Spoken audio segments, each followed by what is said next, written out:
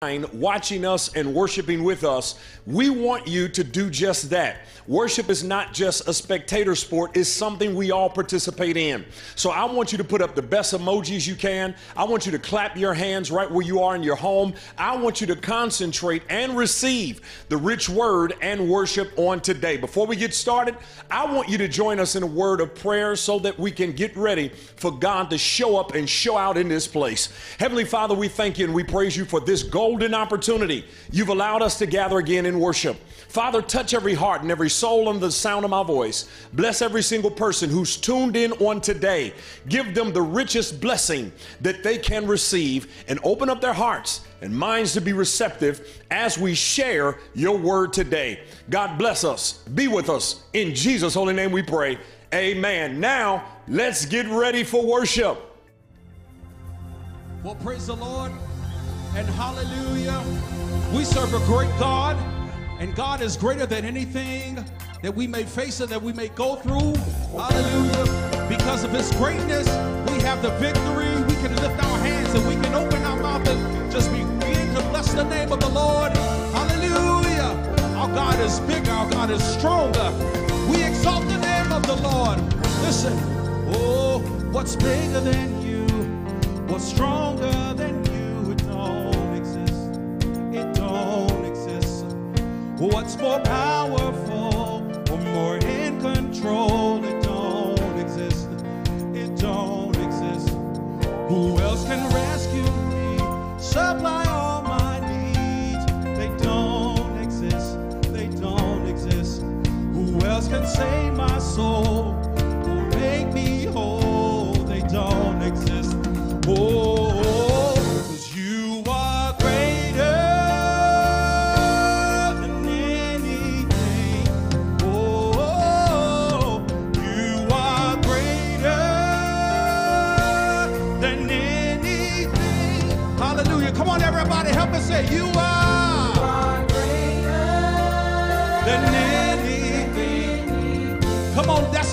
Declaration this morning. You are, than anything. Hallelujah, we glorify you. Oh, what's bigger than you? What's stronger than you? It don't exist. It don't exist. Say what's more powerful?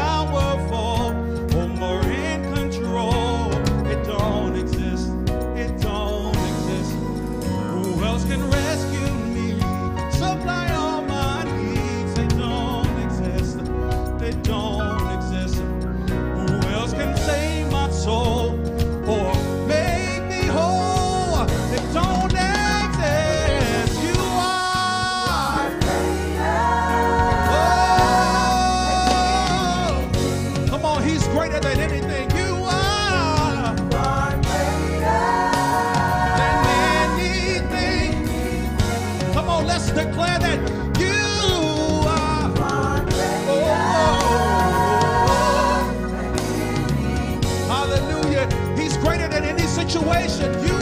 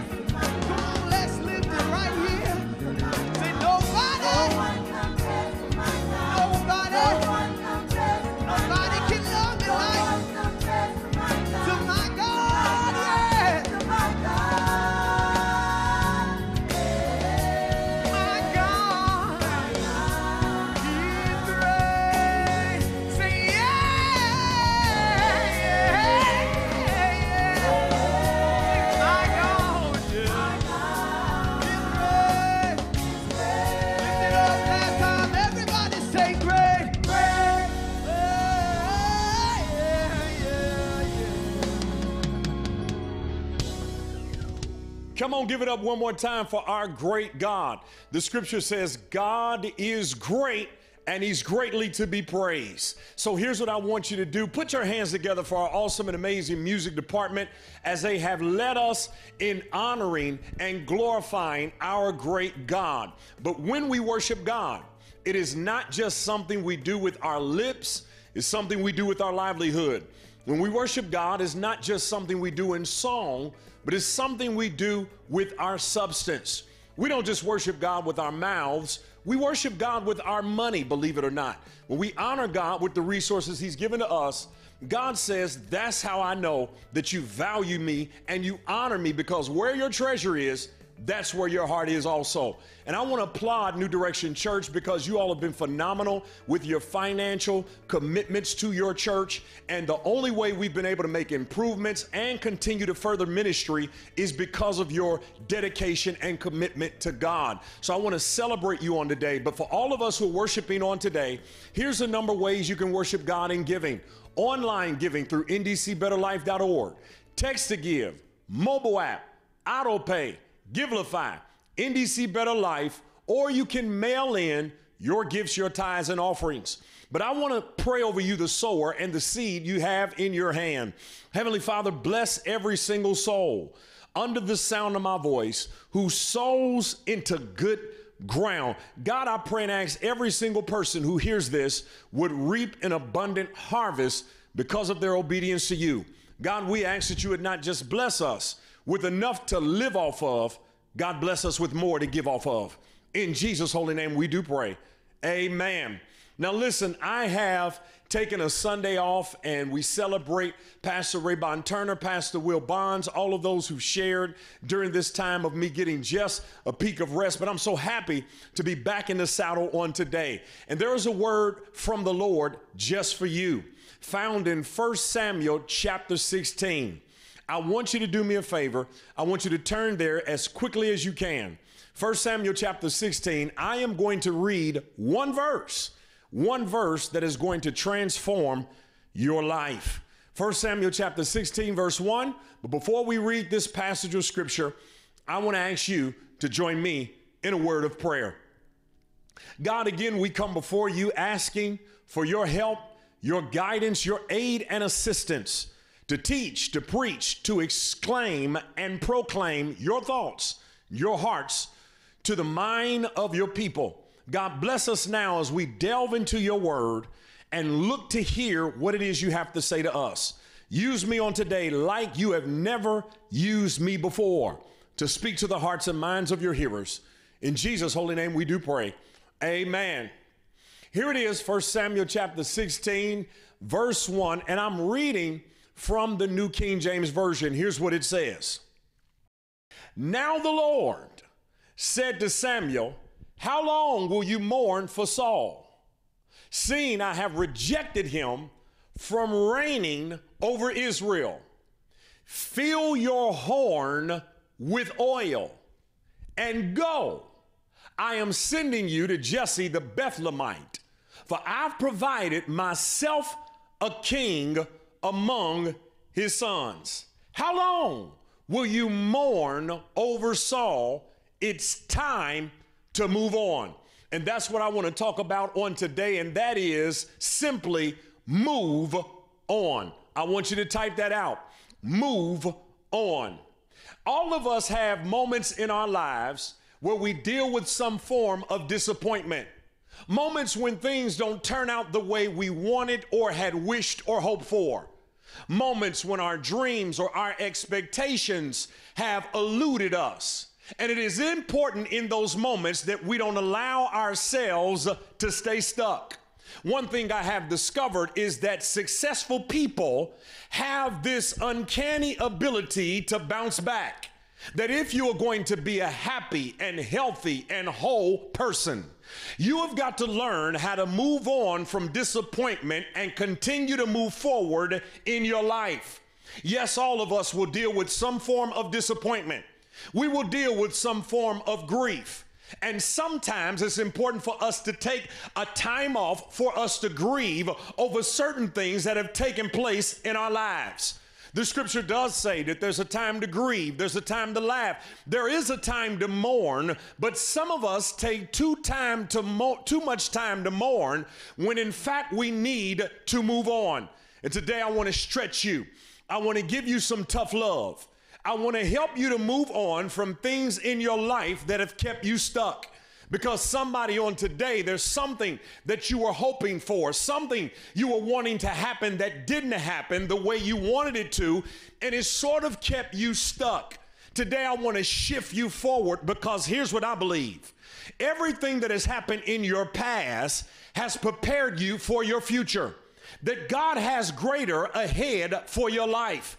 And if you are going to walk into the destiny that God has called for you to walk into, if you are going to reach that destiny, you've got to move on from the place of disappointment.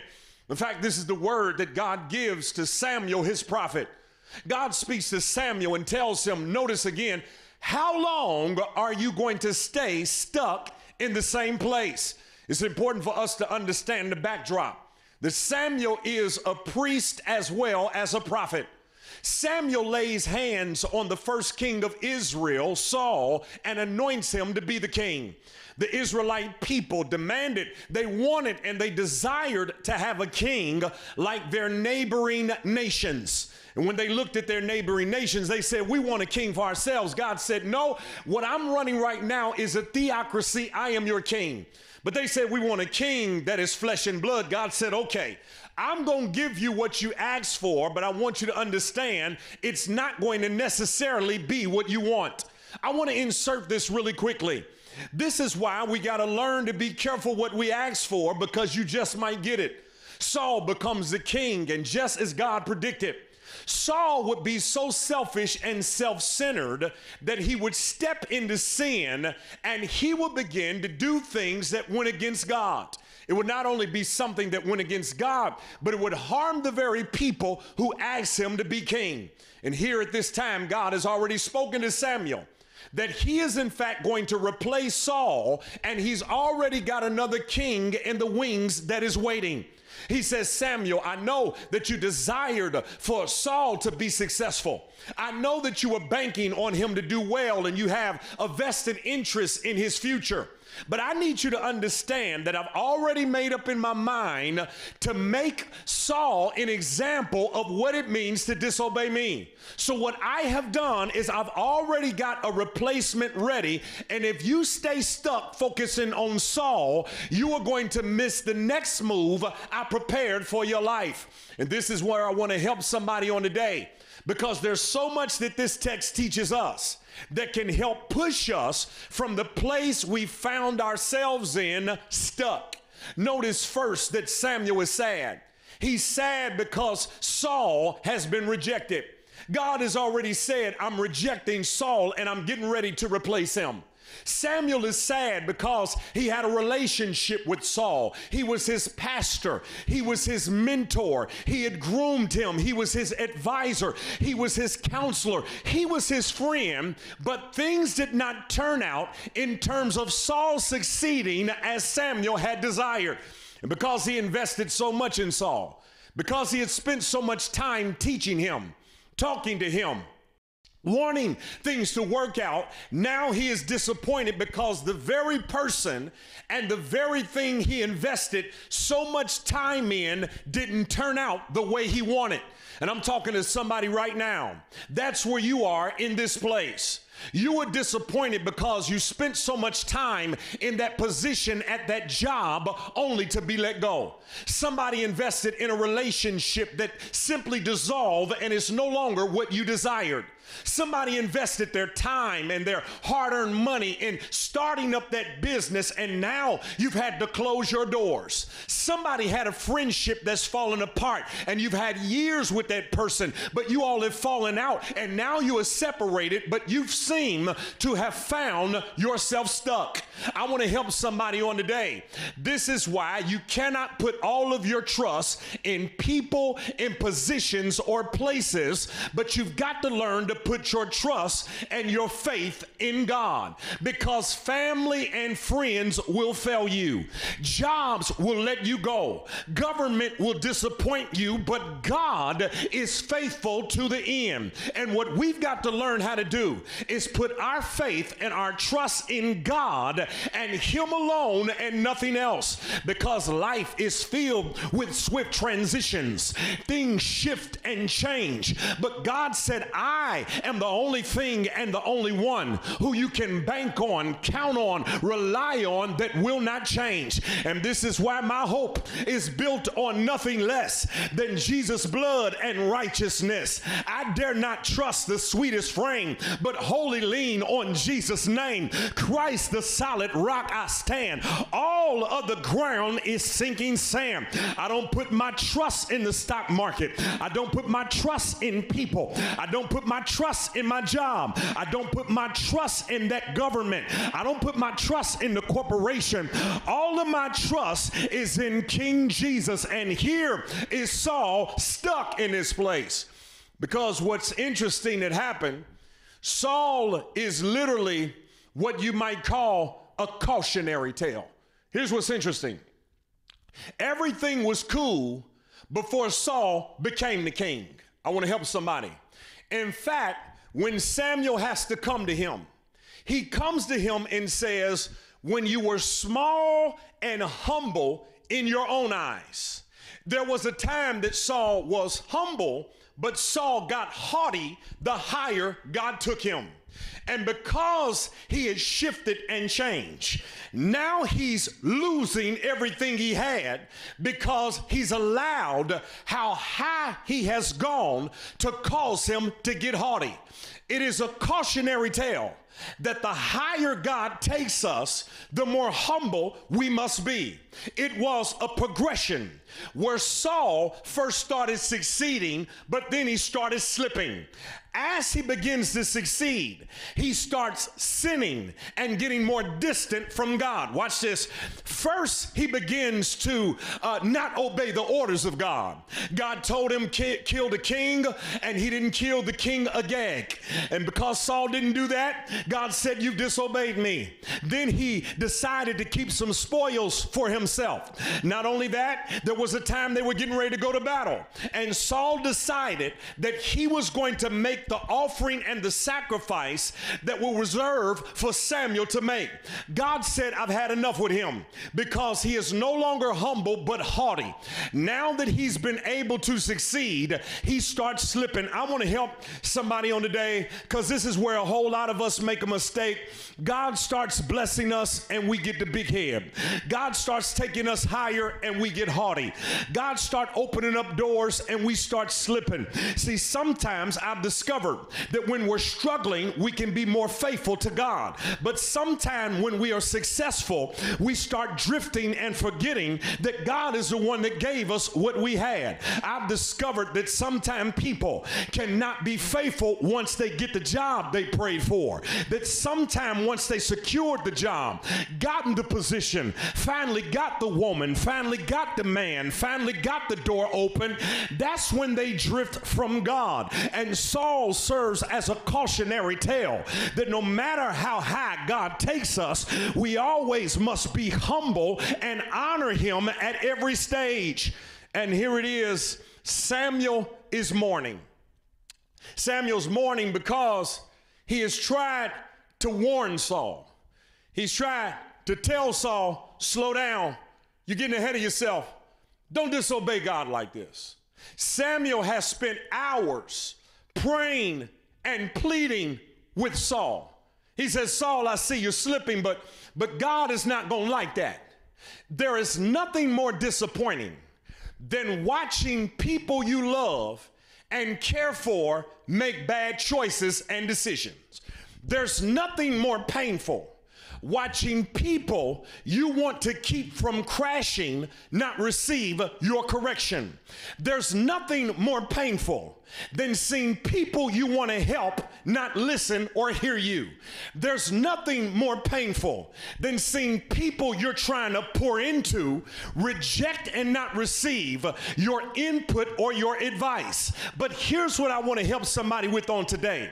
You have got to learn to understand that you cannot change people, but sometimes you got to give them to God. I'm not saying give up on them, but at some stage and some point, you've got to learn how to give them to God. You've got to learn how to move on and say, I can't keep using my energy and my time trying to pour into this person because here's what I need you to understand. He who corrects a scoffer gets shame for himself, and he who rebukes a wicked man only harms himself.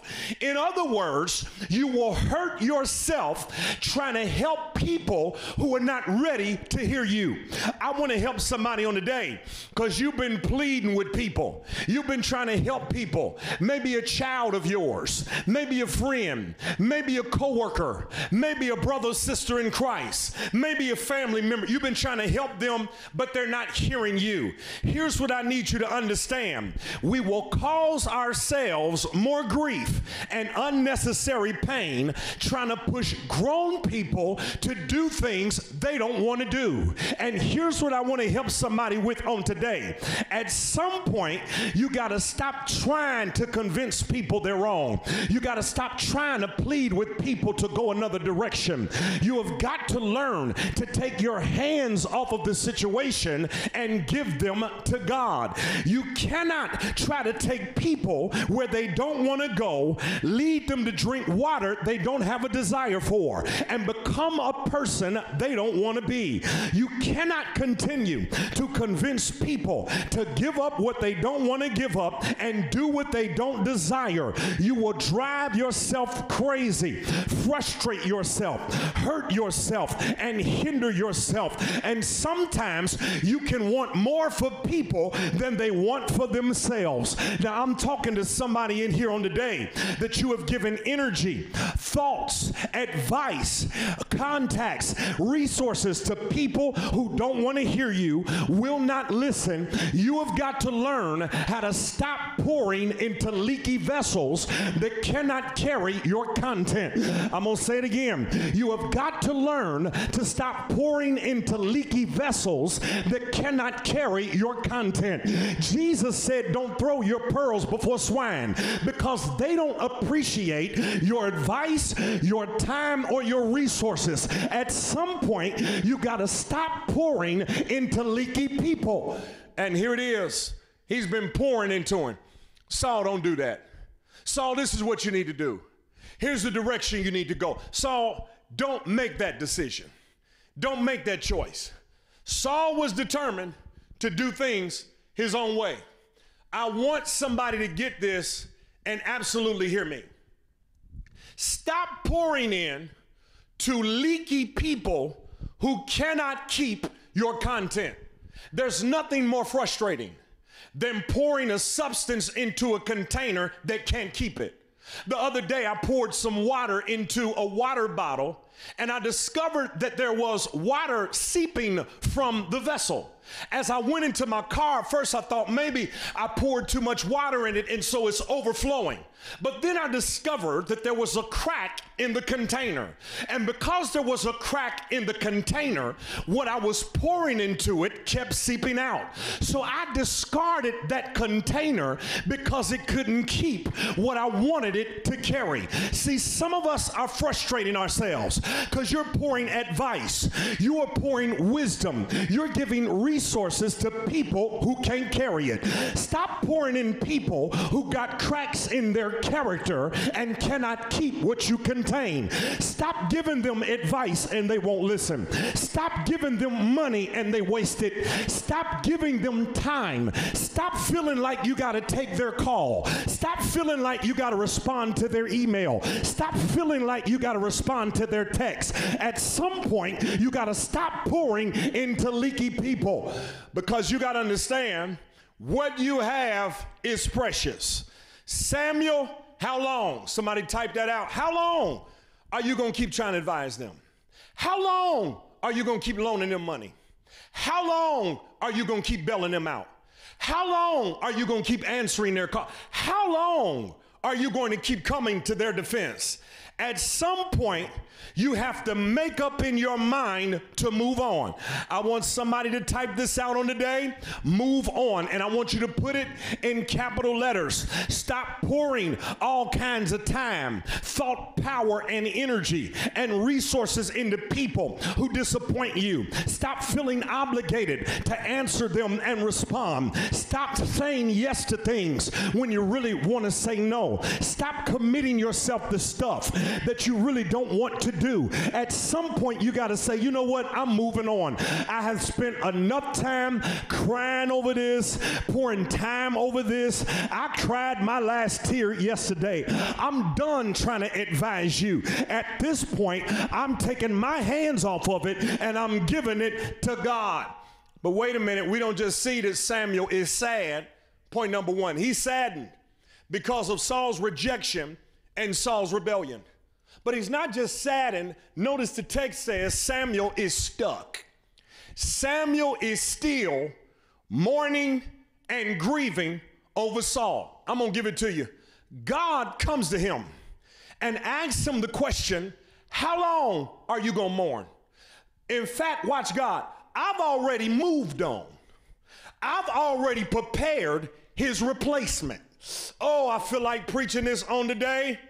I feel like somebody need to hear this to the left, to the left. Everything you own in the box to the left. You need to tell some people goodbye. You need to let some stuff go. You need to take your hands off of it because some of us are staying stuck. And perhaps what Samuel is doing is what we ourselves tend to do. We begin to pour and plead over situation and pray with God hoping he'll change it. God said, I'm not changing my mind this time. I'm not going to re implement him. I've already got his replacement. Since I've moved on, I need you to move on because you are going to miss my next move. Sometimes God allows stuff to go wrong to show you it's not in his will. Sometimes God doesn't let stuff work so he can show you it's not in his will. The reason I let Saul do what he did because Saul Is going to be rejected, but I've already got his replacement. Sometimes we want stuff to work and we try hard to make it work and we work so long to make it fit. Somebody on today, there's some stuff you need to let go of and move on from. Because here's the problem, and we all are guilty of this. All of us are guilty of having moments when we try to force something to fit and make it work. And then what happens is we end up adjusting to situations we need to really detach ourselves from. Let me help you. Sometimes, like Samuel, we stay too long in situations that will not change hoping it will improve, hoping it will get better. Sometimes we will even try to accept dysfunction and stuff that's not working, stuff that's not producing, stuff that's no good for us, and things that are unacceptable because we get used to it and familiar with it. And so we adjust to it and adapt to it because we really don't like change. Some of us, instead of us abandoning what's not working, we've adjusted to what's not working and adapted to dysfunction, accept certain things because it's familiar to us and we get a sense of security out of it. So because so now somebody's in a relationship that you've been in for 10 years and they haven't talked about marrying you, but you're holding out hope that one day you're going to get married, but you always have have these makeups to breakups. At some point, you got to love yourself enough to say, I am not going to adapt or adjust to dysfunction.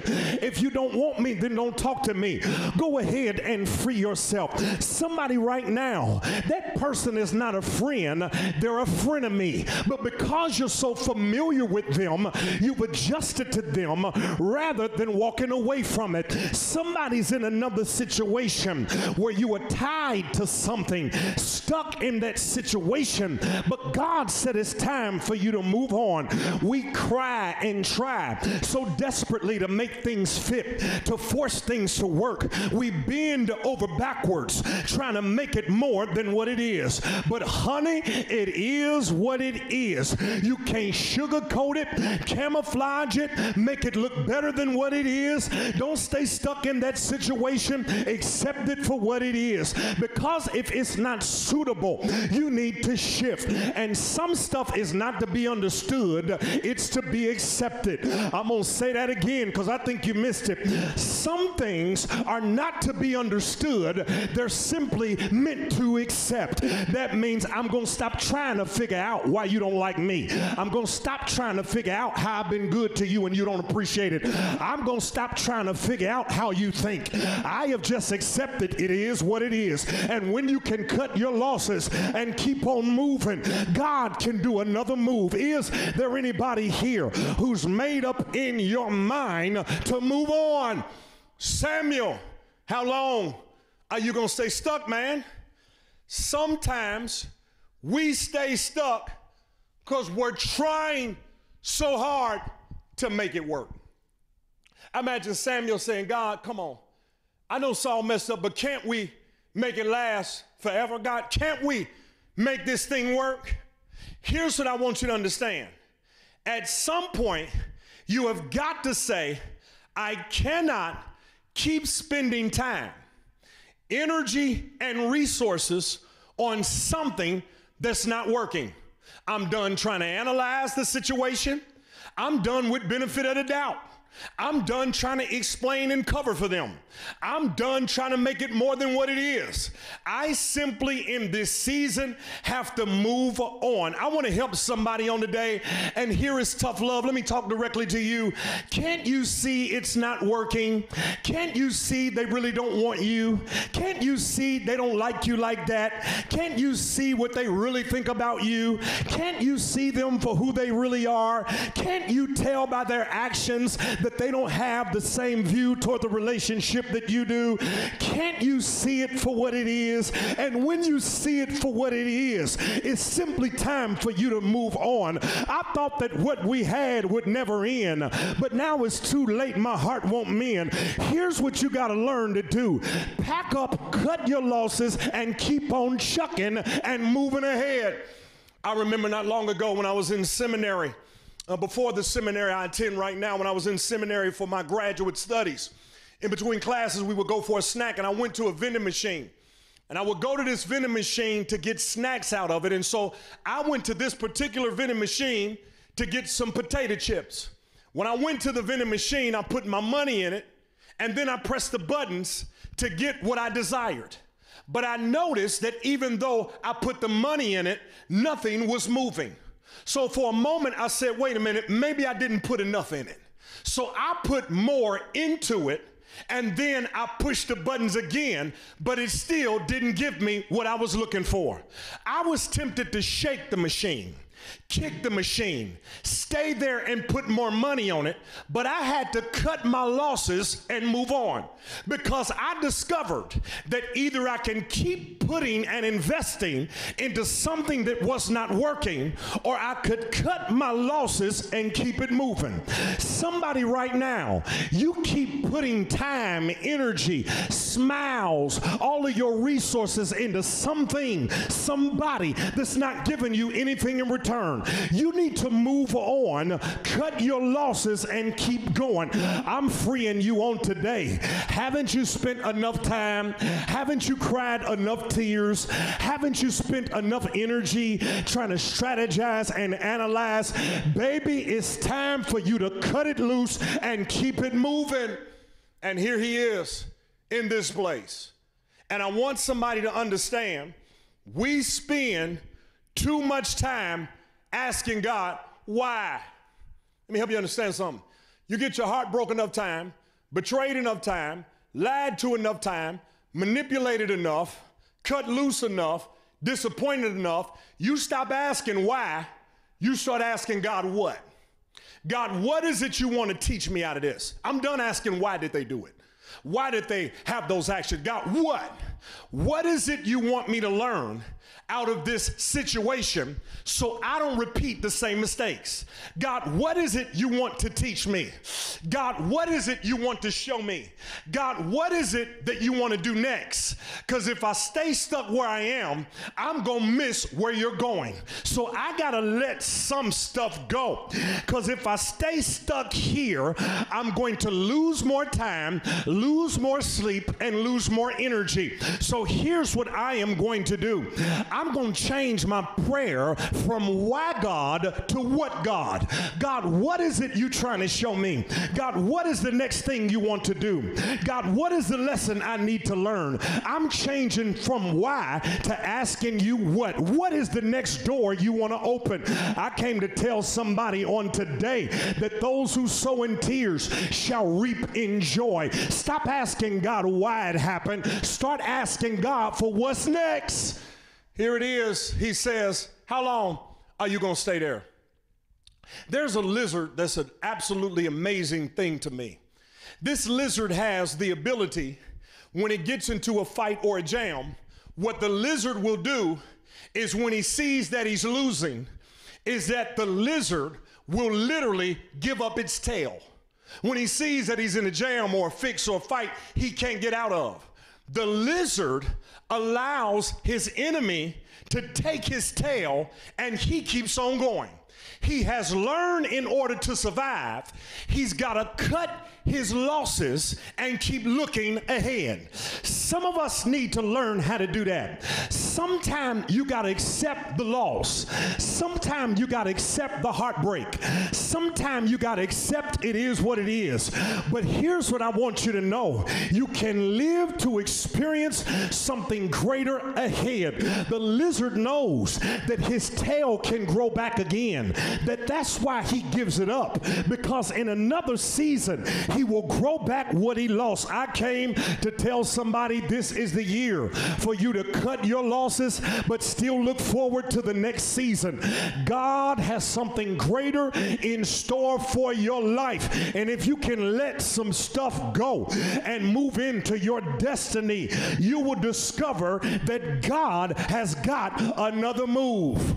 But Samuel, he's stuck and he can't shift gears. I, don't know if you've been there before. And it's easy for us to beat up Samuel. Hold on. Samuel had invested a lot of time in, so it's easy for us to criticize him.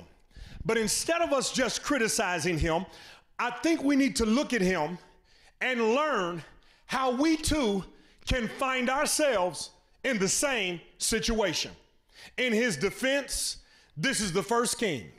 Samuel feels as though he's failed because Saul has failed. Watch this. So he's rationalizing perhaps what went wrong. In fact, I wouldn't doubt if Samuel is interceding to God on Saul's behalf, saying, God, couldn't you just give him another chance? M- maybe it was me. Because you know, when something goes wrong, the first thing you do, if you're a rational thinking person and somebody who's sensitive to the spirit, the first thing you do when a relationship is ruptured, something falls apart, you take some introspective, internal looks at yourself and say, God, maybe it was me. Maybe I could have been more kinder. Maybe I could have been more gentler. Maybe I should have spent more time in them. Maybe, God, where did I go wrong? I want to free somebody on today Grown people are all accountable for their own actions. I want to help a mother on today. Stop blaming yourself for your son's misbehavior. I want to help somebody in a relationship that fell apart. Stop blaming yourself for somebody else's own actions. In fact, some people will manipulate you and play with your mind as if they are the victim and you are the perpetrator. Some people will use reverse psychology to to leverage you and keep you stuck. But I came to break all the chains on today. Each person must give an account for their own actions. Samuel, it's not your fault that Saul made that unlawful sacrifice. It's not your fault that Saul disobeyed God's order. It's not your fault. Stop blaming yourself and beating yourself up over what somebody else did. It's time for you to shift gears and keep on moving forward. I need somebody to hear this. Yes, in situations, you need a time to grieve. There is a time to mourn. There is a time to cry over a loss in your life, whether it be a divorce, whether it be a breakup, whether it be a friendship, whether it be somebody and something going wrong in your life. But you got to move from mourning to moving ahead. You got to stop crying and say to yourself, I've cried my last tears.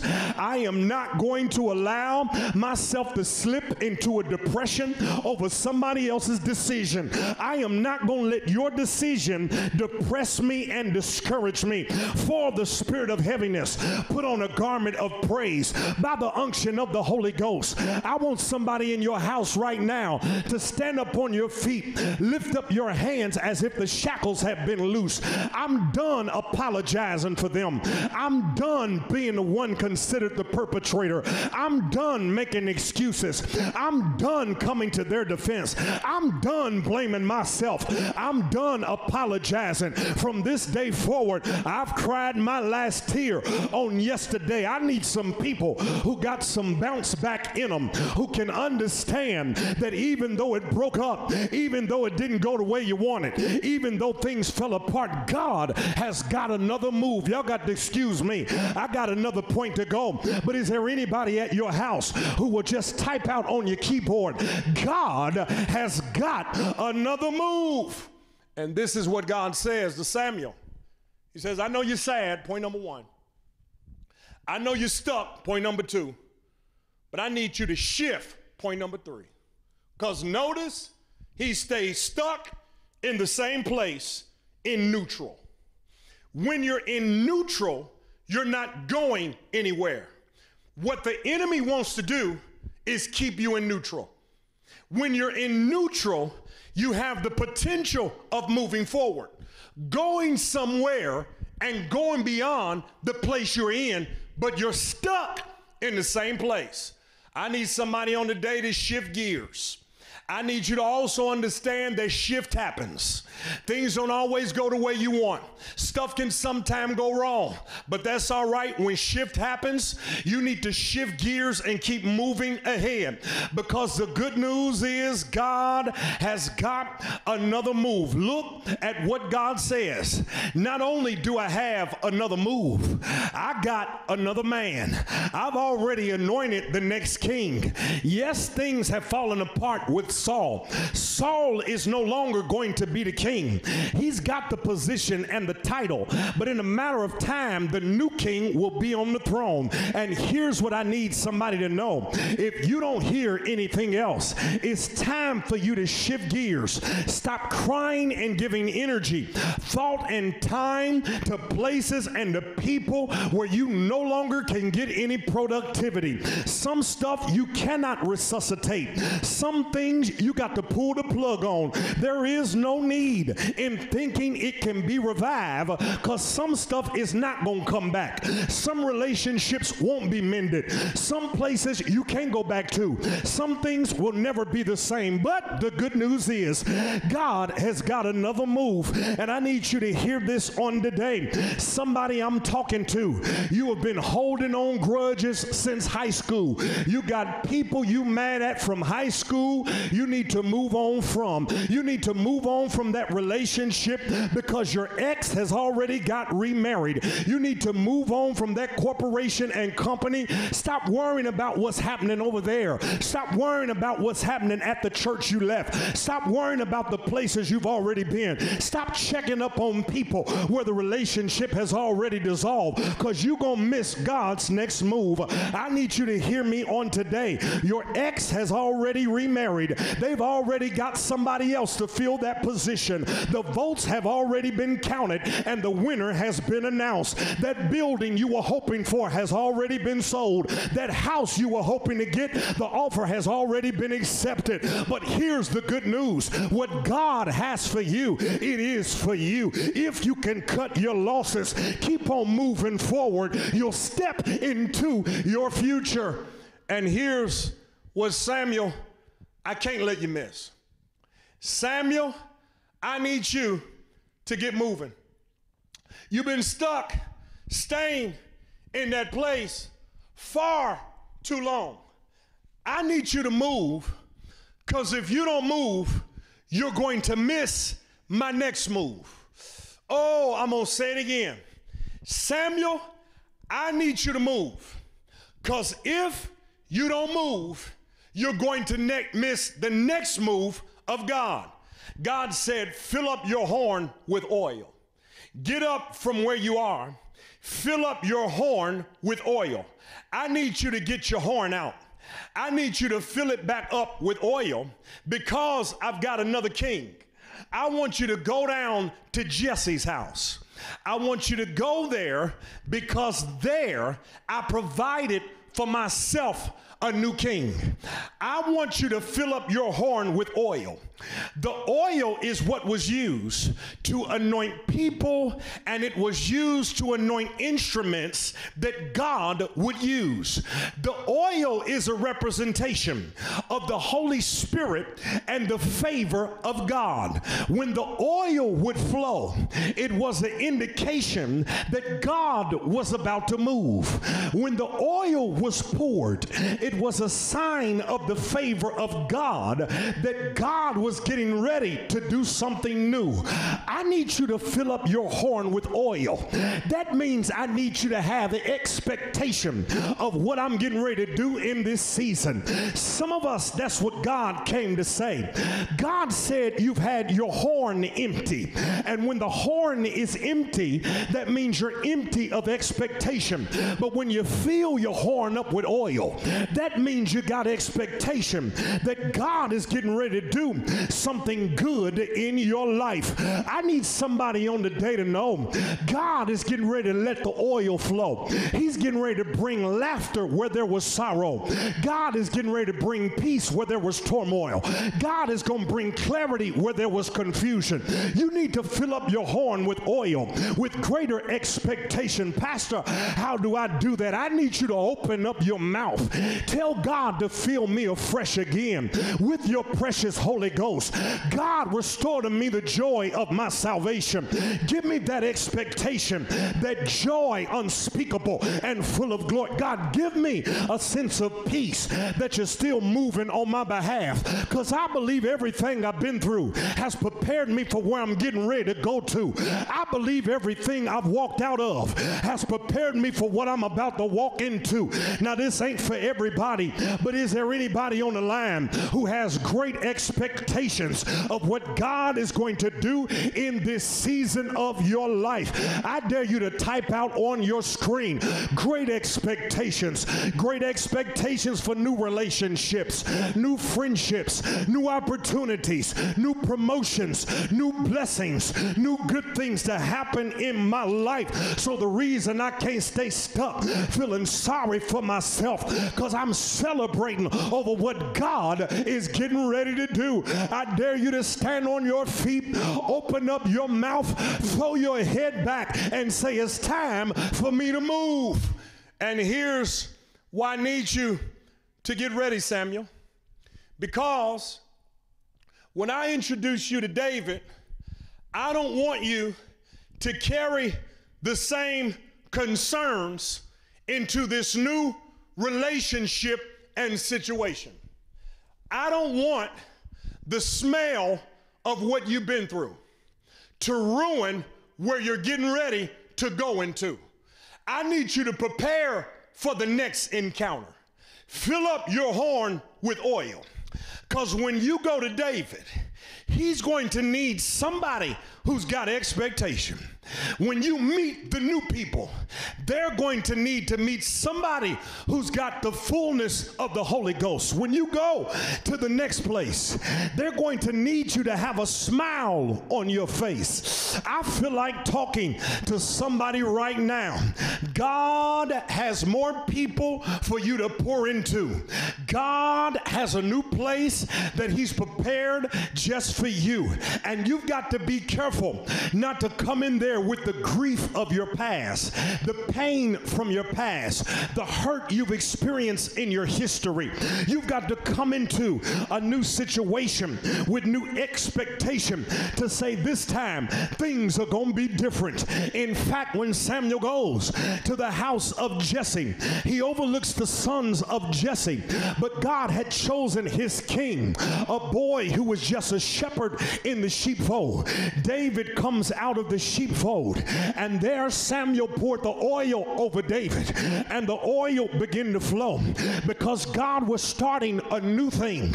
So God had to pull him out of his old so he could walk him into his new. In fact, the anointing takes place in this same exact chapter because God wanted you to know that in the same season you suffered loss, I can also give you gain. In the same season you had sorrow, I can also bring you joy. I need you to fill your horn up with oil because I'm getting ready to introduce you to David. And if you keep crying over Saul, you're going to miss what I'm doing with David. Who is King David? David would be anointed to be the king, and God was really just getting started. David would consolidate the nation. David would bring the stage of the nation to a national platform. David would fight battles. He had a giant to slay, so he needed somebody who had the fullness of the Spirit who could pour into him in a new season. Somebody, God said, I've got some people right now who are praying for your personality. I got some people right now who've been looking for what you got to offer.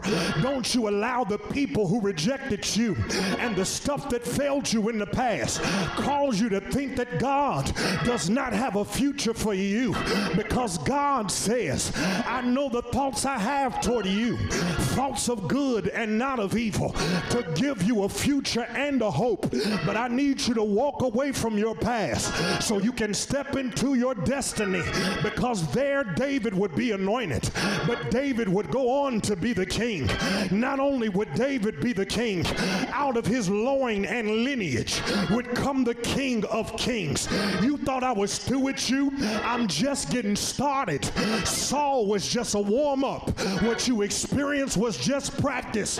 But now I'm about to bring you to a bigger stage. Now I'm getting ready to land this plane, but I'm going to preach for myself right now. God told me to tell us on today that New Direction Church, I'm just getting started. All the battles you fought, all the mountains you've overcome, all the things you've experienced was just a warm up. I was getting you ready for this season because the best is yet to come. I came to prophesy over this house and speak to you at your house that you ain't seen nothing yet. God said the glory on that house is going to be greater than the former because I'm getting ready to pour out a new wave. I'm getting ready to do a new thing. I'm getting ready to open up a new door. But I need somebody at home to start to move like you believe it. I dare you to stand up on your feet, open up your mouth with praise, clap your hands, oh ye people, and shout unto God with a voice of triumph. Is there anybody at your house who just believes now is the time? I am the one. This is the season for God to do exceedingly abundantly above all I could ever ask. If that's you on today, I dare you to stand up on your feet and rise and shine and give God some glory. I said, rise and shine and give God some praise. If He's fought any battles, if He's won any victories, if He's dried any tears, somebody shout, won't He? Won't He make a way? Won't He come through for you? Won't He do a new thing? Won't He? Won't He? Won't He? Won't Won't he, won't he, won't he open up doors? Shout glory, shout glory, glory, glory. Oh, give God some praise at your house. I need somebody to hear this on today. It's time to move on. I speak this in the spirit.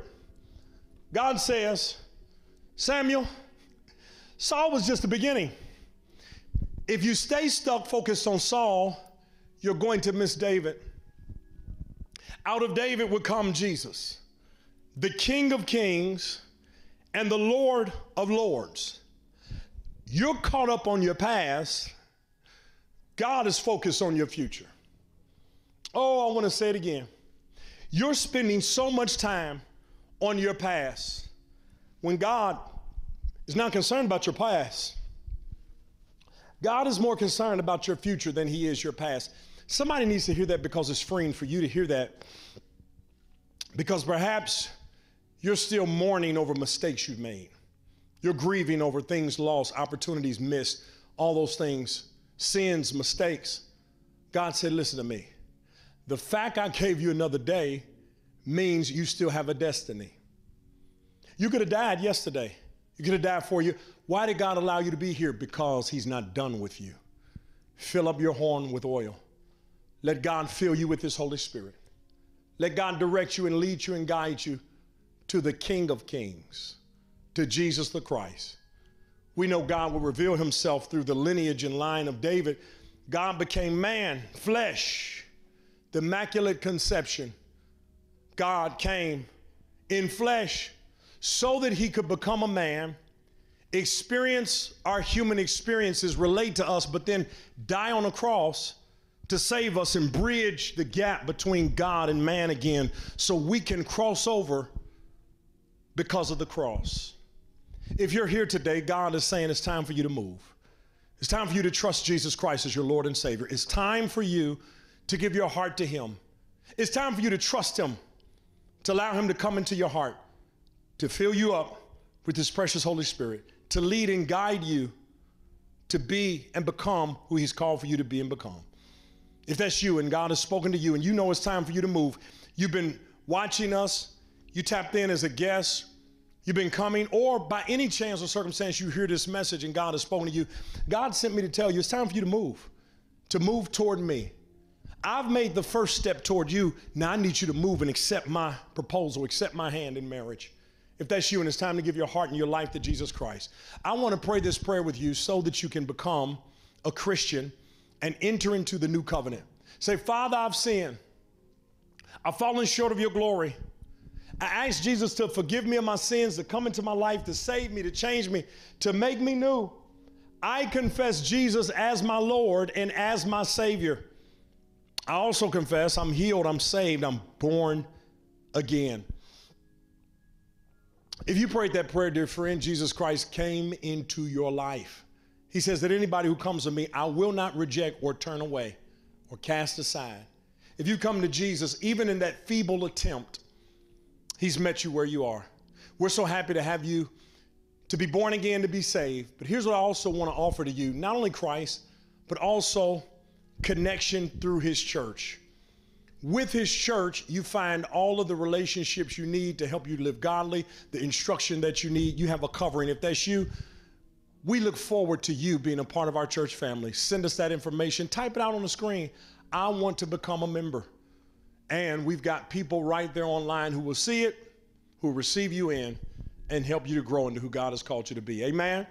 Amen. We give God all the glory for that. Listen, now that as we've closed our services out, I want to give a quick announcement that on Father's Day, everybody say Father's Day. In fact, type it out. We will be open on the ground Father's Day at 8:30 a.m. and 11:30 a.m. for live Sunday morning worship services. Now listen, we want to see you here. I know that the summer months are what we call the summer slump because people travel and they jet set and move around. I get it. I've got some traveling plans of my own. I get it. We like the vacation, and you should. I want you to enjoy that. But I want you to begin to come back to church on Father's Day. We're going to come back. We're going to come back with excitement and zeal and worship. And so I know that some people will travel, be with their families, but come and be with us because we got a special message we're going to share that evolves around uh, fathers and families being in the house of the Lord at Bethel. But before we go into that, and I've shared that announcement with you, now at this time, I want us to prepare our hearts and minds for giving to God and worshiping Him in giving. There's a number of ways you can do that. It's on the screen, online, text to give, mobile app, auto pay, Givelify, NDC Better Life or you can mail in your gifts and tithes and offerings. By all means, let's honor God. I want to pray with you as we get ready to leave this place, but never God's presence. Uh, I'm so excited for us to be coming back. I also want you to stay on the line because we've got just a couple of announcements we're going to share with you about our reopening. We're training, we're getting prepared. In fact, we're in a brand new series called All Hands on Deck on Wednesday nights where we're teaching about uh, serving and being involved and rebuilding. This is the year that our church uh, is rebuilding. And so you'll see that restrooms are being installed here at our East Campus, other improvements are being made. You will see some enhancements here uh, inside of the sanctuary. This is a year for us to rebuild, but not just the platforms and not just the place we're here to rebuild the people, you. So listen, I want you to join us on Wednesday nights at 7 o'clock p.m. We come for one hour of power and worship, and all of our guests, you are invited definitely anytime we have worship. We're live on the ground on Wednesdays as well. You can come out and be with us then. But I look so forward to seeing you then. Let's pray. God, now we thank you for having heard the word that we need to shift us and move us forward. God, after having heard that word, help us walk in your ways and be who you called us to be. Help us to not take anything for granted, but God, help us in situations where we need to cut our losses. Hear what you're saying. Walk away with expectation that whatever we lost, you can resupply, refill, you can replenish, you can give back to us double for our trouble. In Jesus' holy name we pray. Amen. Listen, I love you all. Look forward to seeing you soon. God bless you.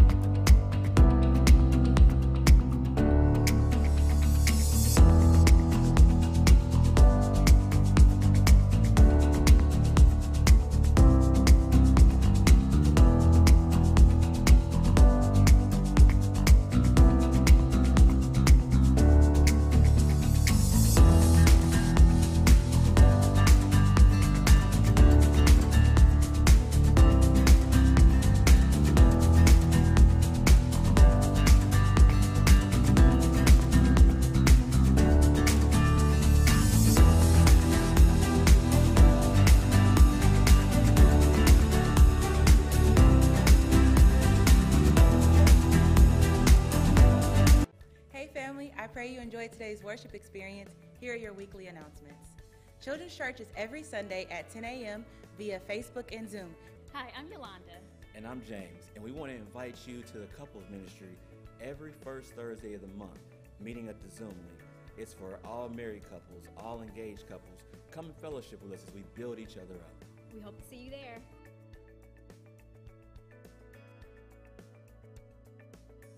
Are you in need of communion? We have communion supplies that are available for pickup at the church between 10 a.m. and 4 p.m., Wednesday through Friday. Have you registered to join us for midweek motivation? Registration is now open via our website.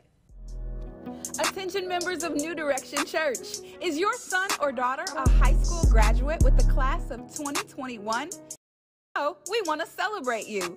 Visit us today at www.ndcbetterlife.org to register your son or daughter for our 2021 high school graduation celebration. Members can register their high school graduates today, but hurry, the registration window will close on Sunday, May 23rd. New Direction Church, leading people to a better life. Sister Talk works to develop a sisterhood that generates spiritual unity within the women of the ministry. We meet on the second Monday of each month via Zoom at 7 p.m. We use a women's based curriculum to help encourage and uplift. For more information, check out our Facebook page. Hi, I'm Sister Nicole, and I'd like to welcome you to join us in the Extended Hands Prayer Ministry. In the times that we're living in, prayer is definitely essential, and we have an hour of prayer throughout the week Monday, Tuesday, Thursday, Friday, and Saturday. Please feel free to join us. we're there to welcome you.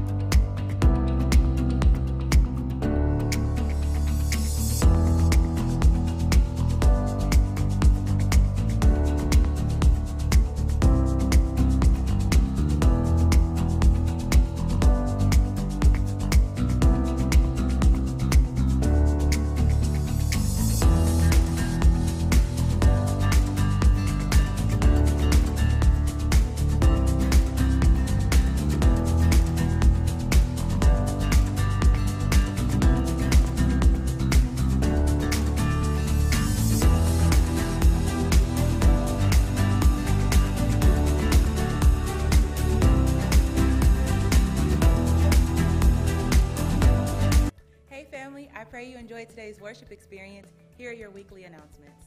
Children's Church is every Sunday at 10 a.m. via Facebook and Zoom. Be sure to check out the Indie Kids Facebook group for more information. Hi, I'm Yolanda. And I'm James, and we want to invite you to the couples ministry every first Thursday of the month, meeting at the Zoom link. It's for all married couples, all engaged couples. Come and fellowship with us as we build each other up. We hope to see you there.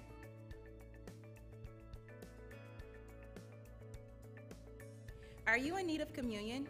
We have communion supplies that are available for pickup at the church between 10 a.m. and 4 p.m., Wednesday through Friday. Have you registered to join us for midweek motivation? Registration is now open via our website. Attention members of New Direction Church. Is your son or daughter a high school graduate with the class of 2021? If so, we want to celebrate you. Visit us today at www.ndcbetterlife.org to register your son or daughter for our 2021 high school graduation celebration. Members can register their high school graduates today, but hurry, the registration window will close on Sunday, May 23rd. New Direction Church, leading people to a better life.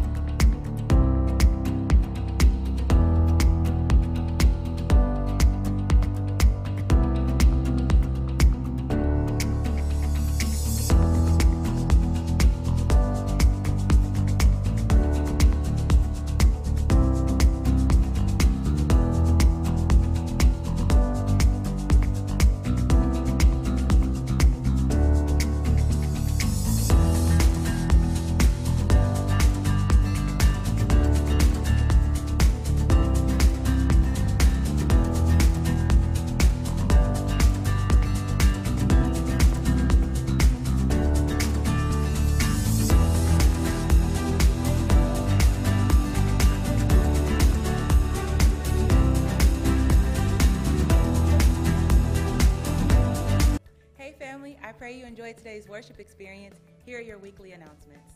Children's Church is every Sunday at 10 a.m. via Facebook and Zoom. Be sure to check out the Indie Kids Facebook group for more information. Hi, I'm Yolanda. And I'm James, and we want to invite you to the couples ministry every first Thursday of the month, meeting at the Zoom link. It's for all married couples, all engaged couples. Come and fellowship with us as we build each other up. We hope to see you there.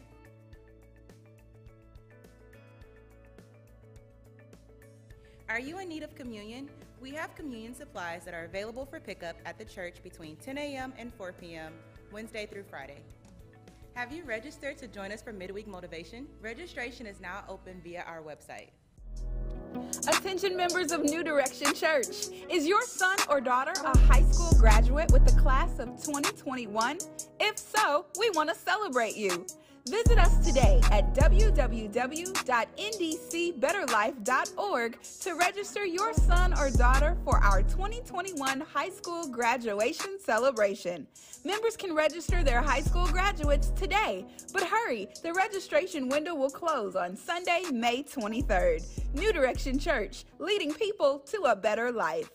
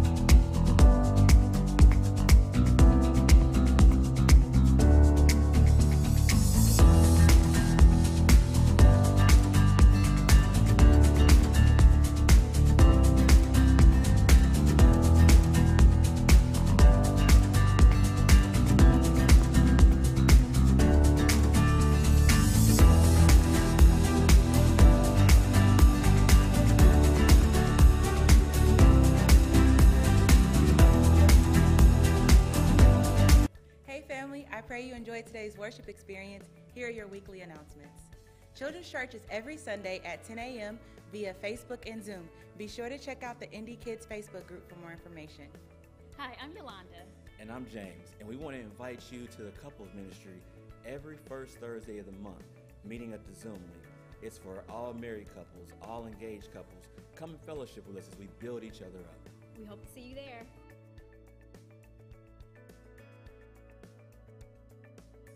Are you in need of communion? We have communion supplies that are available for pickup at the church between 10 a.m. and 4 p.m., Wednesday through Friday. Have you registered to join us for midweek motivation? Registration is now open via our website. Attention members of New Direction Church. Is your son or daughter a high school graduate with the class of 2021? If so, we want to celebrate you. Visit us today at www.ndcbetterlife.org to register your son or daughter for our 2021 high school graduation celebration. Members can register their high school graduates today, but hurry, the registration window will close on Sunday, May 23rd. New Direction Church, leading people to a better life.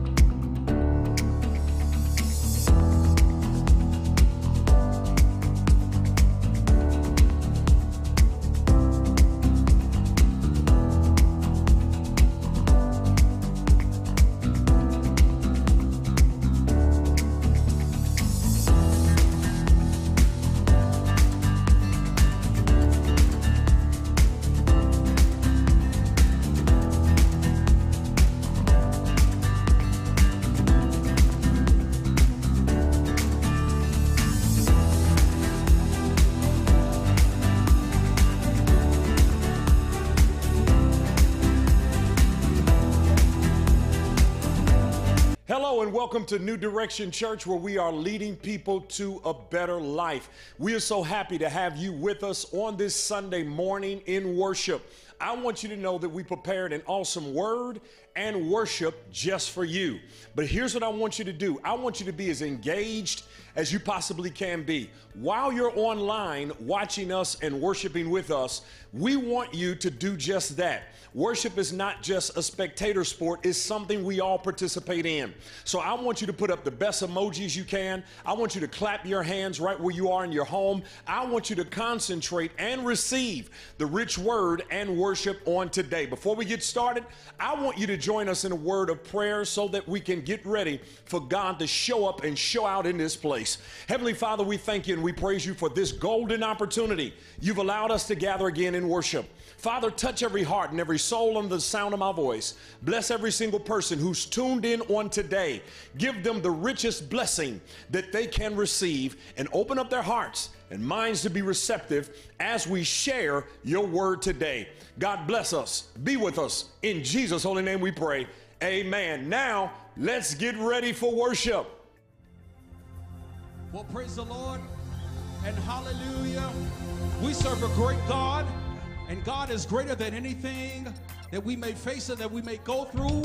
Hallelujah. Because of His greatness, we have the victory. We can lift our hands and we can open the name of the Lord. Hallelujah. Our God is bigger, our God is stronger. We exalt the name of the Lord. Listen, oh, what's bigger than you? What's stronger than you? It don't exist. It don't exist.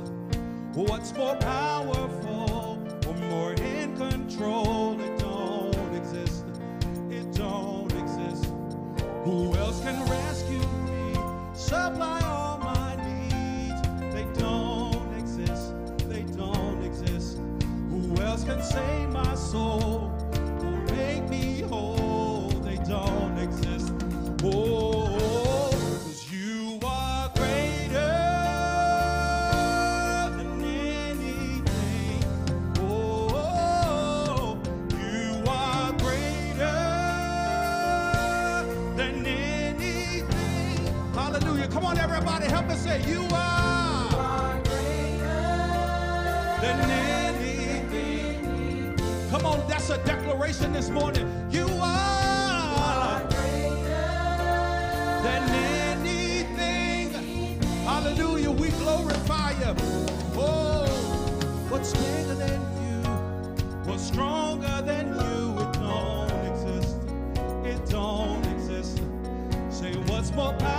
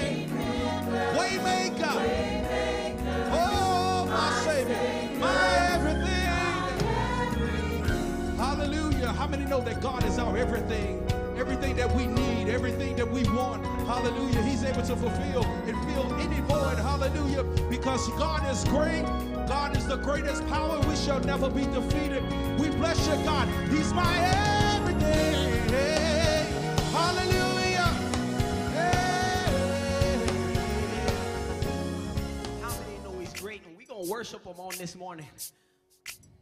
We love the Lord. He's great and mighty. He's the greatest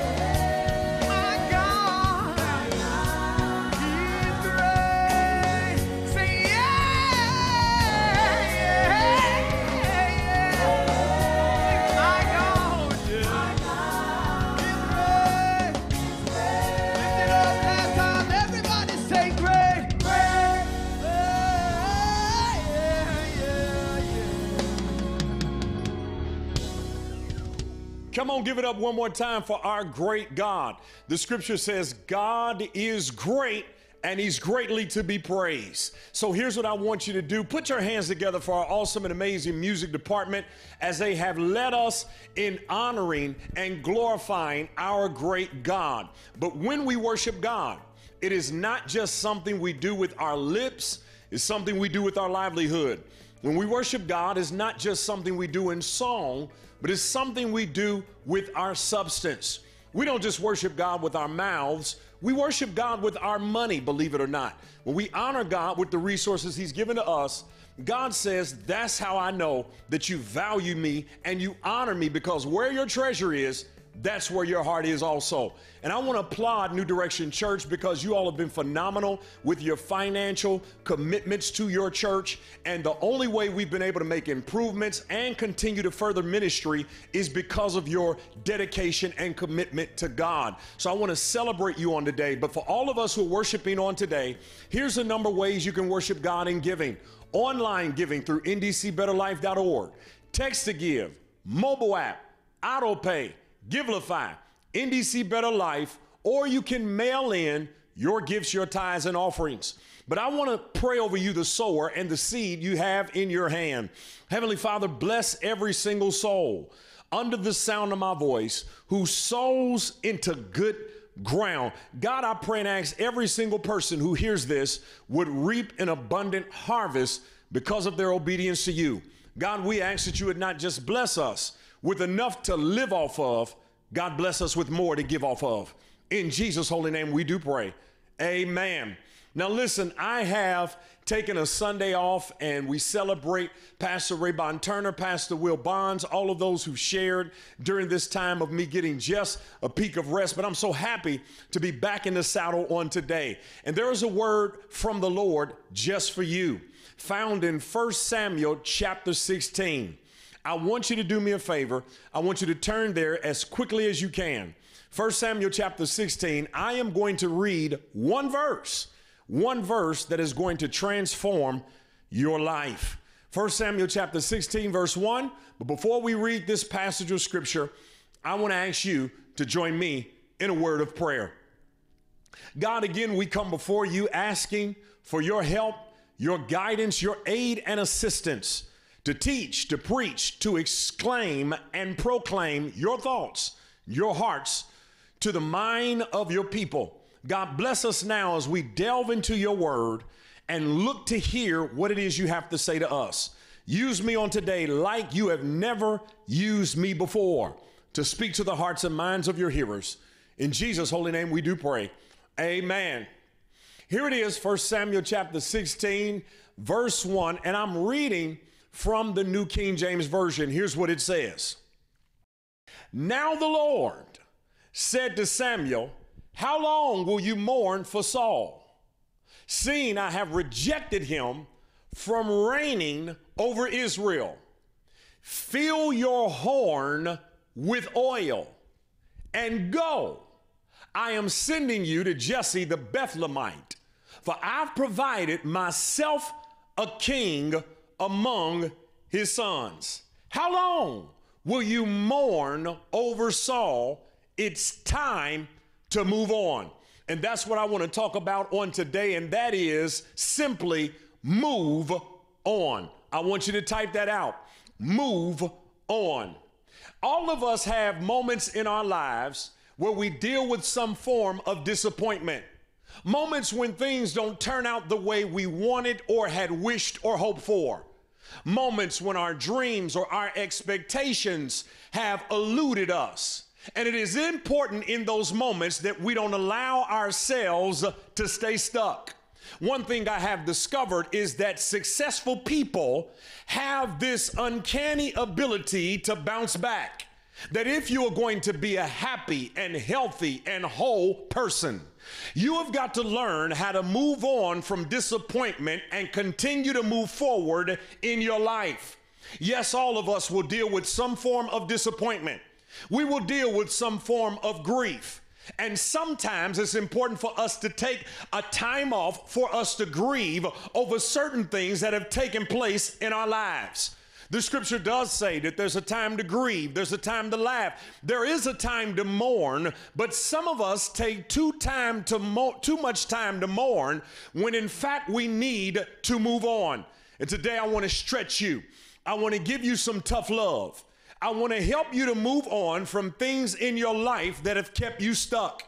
Because somebody on today, there's something that you were hoping for, something you were wanting to happen that didn't happen the way you wanted it to, and it sort of kept you stuck. Today, I want to shift you forward because here's what I believe everything that has happened in your past has prepared you for your future, that God has greater ahead for your life. And if you are going to walk into the destiny that God has called for you to walk into, if you are going to reach that destiny, you've got to move on from the place of disappointment. In fact, this is the word that God gives to Samuel, his prophet. God speaks to Samuel and tells him, notice again, how long are you going to stay stuck in the same place? It's important for us to understand the backdrop that Samuel is a priest as well as a prophet. Samuel lays hands on the first king of Israel, Saul, and anoints him to be the king. The Israelite people demanded, they wanted, and they desired to have a king like their neighboring nations. And when they looked at their neighboring nations, they said, We want a king for ourselves. God said, No, what I'm running right now is a theocracy. I am your king. But they said, We want a king that is flesh and blood. God said, Okay, I'm going to give you what you asked for, but I want you to understand it's not going to necessarily be what you want. I want to insert this really quickly. This is why we got to learn to be careful what we ask for because you just might get it. Saul becomes the king, and just as God predicted, Saul would be so selfish and self centered that he would step into sin and he would begin to do things that went against God. It would not only be something that went against God, but it would harm the very people who asked him to be king. And here at this time, God has already spoken to Samuel that he is in fact going to replace Saul, and he's already got another king in the wings that is waiting. He says, Samuel, I know that you desired for Saul to be successful. I know that you were banking on him to do well and you have a vested interest in his future. But I need you to understand that I've already made up in my mind to make Saul an example of what it means to disobey me. So, what I have done is I've already got a replacement ready. And if you stay stuck focusing on Saul, you are going to miss the next move I prepared for your life. And this is where I want to help somebody on today because there's so much that this text teaches us that can help push us from the place we found ourselves in stuck. Notice first that Samuel is sad. He's sad because Saul has been rejected. God has already said, I'm rejecting Saul and I'm getting ready to replace him. Samuel is sad because he had a relationship with Saul. He was his pastor, he was his mentor, he had groomed him, he was his advisor, he was his counselor, he was his friend. But things did not turn out in terms of Saul succeeding as Samuel had desired. And because he invested so much in Saul, because he had spent so much time teaching him, talking to him, wanting things to work out. Now he is disappointed because the very person and the very thing he invested so much time in didn't turn out the way he wanted. And I'm talking to somebody right now. That's where you are in this place. You were disappointed because you spent so much time in that position at that job only to be let go. Somebody invested in a relationship that simply dissolved and is no longer what you desired. Somebody invested their time and their hard earned money in starting up that business, and now you've had to close your doors. Somebody had a friendship that's fallen apart, and you've had years with that person, but you all have fallen out, and now you are separated, but you seem to have found yourself stuck. I want to help somebody on today. This is why you cannot put all of your trust in people, in positions, or places, but you've got to learn to put your trust and your faith in God because family and friends will fail you. Jobs will let you go. Government will disappoint you, but God is faithful to the end. And what we've got to learn how to do is put our faith and our trust in God and Him alone and nothing else because life is filled with swift transitions.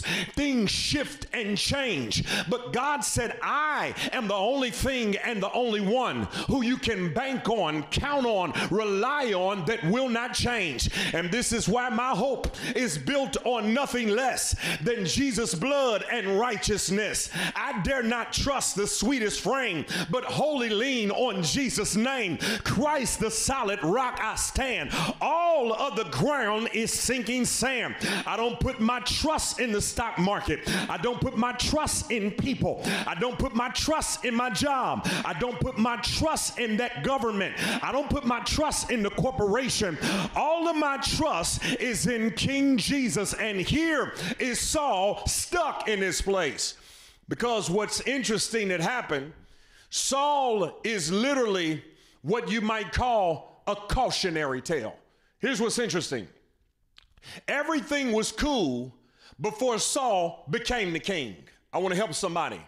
In fact, when Samuel has to come to him, he comes to him and says, When you were small and humble in your own eyes, there was a time that Saul was humble, but Saul got haughty the higher God took him.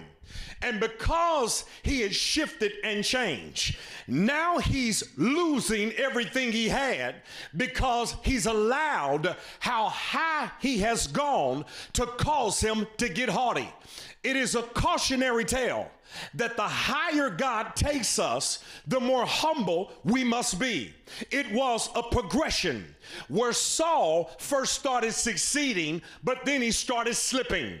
As he begins to succeed, he starts sinning and getting more distant from God. Watch this. First, he begins to uh, not obey the orders of God. God told him ki- kill the king, and he didn't kill the king Agag. And because Saul didn't do that, God said, "You've disobeyed me." Then he decided to keep some spoils for himself. Not only that, there was a time they were getting ready to go to battle, and Saul decided that he was going to make the offering and the sacrifice that were reserved for Samuel to make. God said, I've had enough with him because he is no longer humble but haughty. Now that he's been able to succeed, he starts slipping. I want to help somebody on today because this is where a whole lot of us make a mistake. God starts blessing us and we get the big head. God starts taking us higher and we get haughty. God start opening up doors and we start slipping. See, sometimes I've discovered that when we're struggling, we can be more faithful to God. But sometime when we are successful, we start drifting and forgetting that God is the one that gave us what we had. I've discovered that sometimes people cannot be faithful once they get the job they prayed for. That sometime once they secured the job, gotten the position, finally got the woman, finally got the man, finally got the door open, that's when they drift from God. And Saul serves as a cautionary tale that no matter how high God takes us, we always must be humble and honor him at every stage. And here it is Samuel is mourning. Samuel's mourning because he has tried to warn Saul. He's tried to tell Saul, slow down, you're getting ahead of yourself. Don't disobey God like this. Samuel has spent hours praying and pleading with Saul. He says, Saul, I see you're slipping, but, but God is not going to like that. There is nothing more disappointing than watching people you love and care for make bad choices and decisions. There's nothing more painful watching people you want to keep from crashing not receive your correction. There's nothing more painful than seeing people you want to help not listen or hear you. There's nothing more painful than seeing people you're trying to pour into reject and not receive your input or your advice. But here's what I want to help somebody with on today.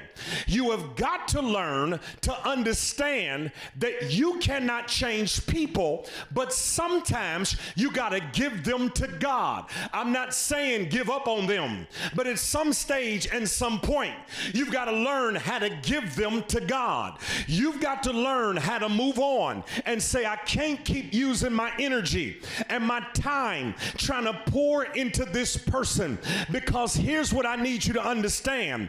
He who corrects a scoffer gets shame for himself, and he who rebukes a wicked man only harms himself. In other words, you will hurt yourself trying to help people who are not ready to hear you. I want to help somebody on today because you've been pleading with people. You've been trying to help people. Maybe a child of yours, maybe a friend, maybe a coworker, maybe a brother sister in Christ, maybe a family member. You've been trying to help them, but they're not hearing you. Here's what I need you to understand. We will cause ourselves more grief and unnecessary pain trying to push grown people to do things they don't want to do. And here's what I want to help somebody with on today. At some point, you got to stop trying to convince people they're wrong. You got to stop trying to plead with people to go another direction. You have got to learn to take your hands off of the situation and give them to God. You cannot try to take people where they don't want to go, lead them to drink water they don't have a desire for, and become a person they don't want to be.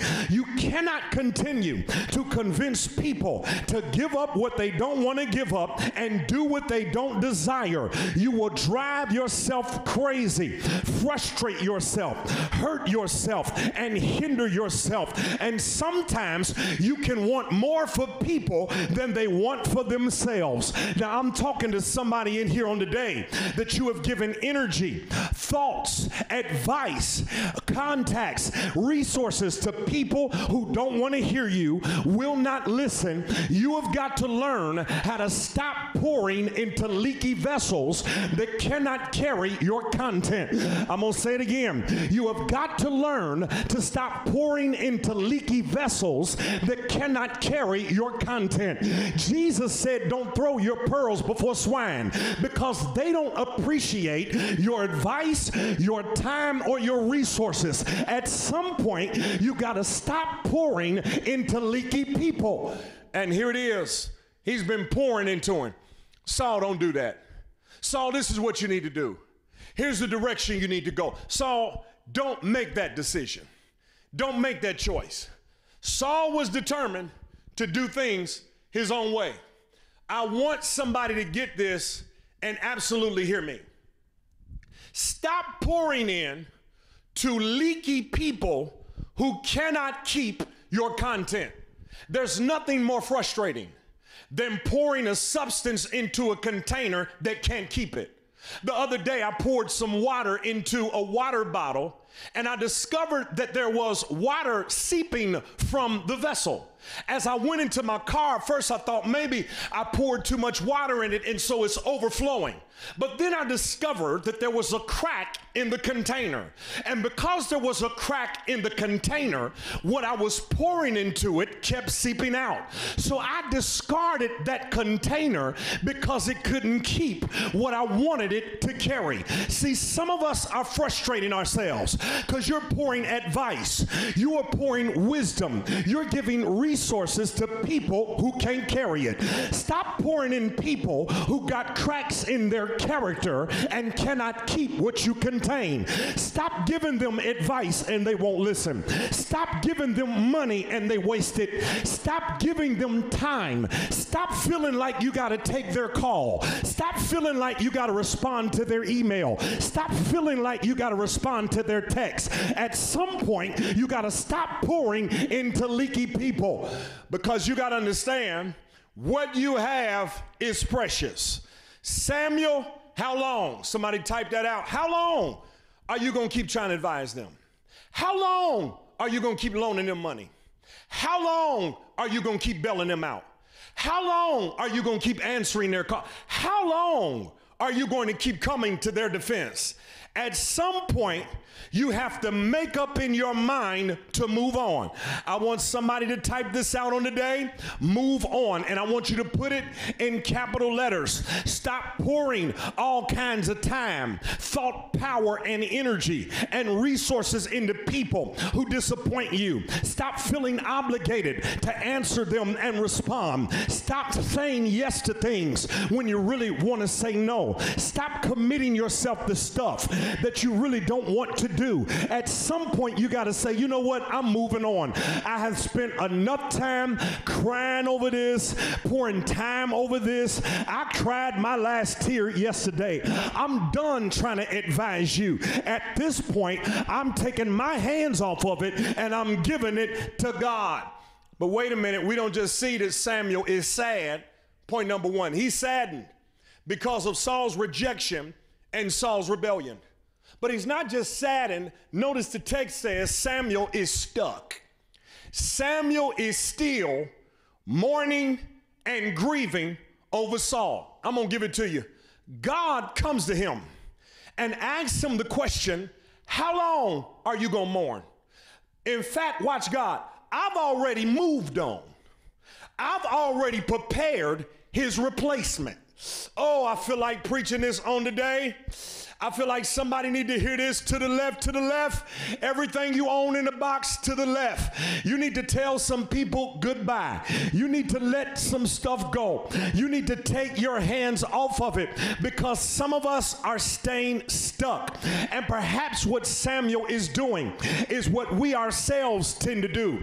We begin to pour and plead over situation and pray with God hoping he'll change it. God said, I'm not changing my mind this time.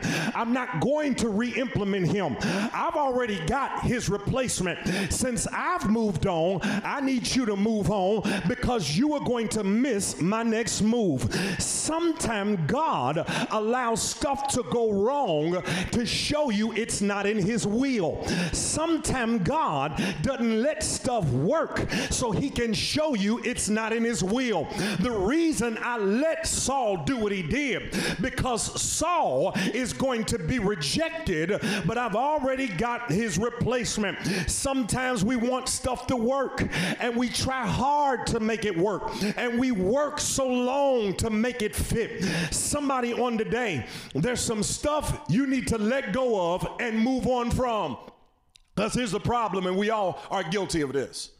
All of us are guilty of having moments when we try to force something to fit and make it work. And then what happens is we end up adjusting to situations we need to really detach ourselves from. Let me help you. Sometimes, like Samuel, we stay too long in situations that will not change hoping it will improve, hoping it will get better. Sometimes we will even try to accept dysfunction and stuff that's not working, stuff that's not producing, stuff that's no good for us, and things that are unacceptable because we get used to it and familiar with it. And so we adjust to it and adapt to it because we really don't like change. Some of us, instead of us abandoning what's not working, we've adjusted to what's not working and adapted to dysfunction, accept certain things because it's familiar to us and we get a sense of security out of it. So because so now somebody's in a relationship that you've been in for 10 years and they haven't talked about marrying you, but you're holding out hope that one day you're going to get married, but you always have have these makeups to breakups. At some point, you got to love yourself enough to say, I am not going to adapt or adjust to dysfunction. If you don't want me, then don't talk to me. Go ahead and free yourself. Somebody right now, that person is not a friend, they're a frenemy. But because you're so familiar with them, you've adjusted to them rather than walking away from it. Somebody's in another situation where you are tied to something, stuck in that situation. But God said it's time for you to move on. We cry and try so desperately to make things fit, to force things to work. We bend over backwards trying to make it more than what it is. But honey, it is what it is. You can't sugarcoat it, camouflage it, make it look better than what it is. Don't stay stuck in that situation. Accept it for what it is. Because if it's not suitable, you need to shift. And some stuff is not to be understood, it's to be accepted. I'm going to say that again because I think you missed it. Some things are not to be understood, they're simply meant to accept. That means I'm going to stop trying to figure out why you don't like me. I'm going to stop trying to figure out how I've been good to you and you don't appreciate it. I'm going to stop trying to figure out how you think. I have just accepted it is what it is. And when you can cut your losses and keep on moving, God can do another move. Is there anybody here who's made up in your mind to move on? Samuel, how long are you going to stay stuck, man? Sometimes we stay stuck because we're trying so hard to make it work. Imagine Samuel saying, God, come on. I know Saul messed up, but can't we make it last forever? God, can't we make this thing work? Here's what I want you to understand.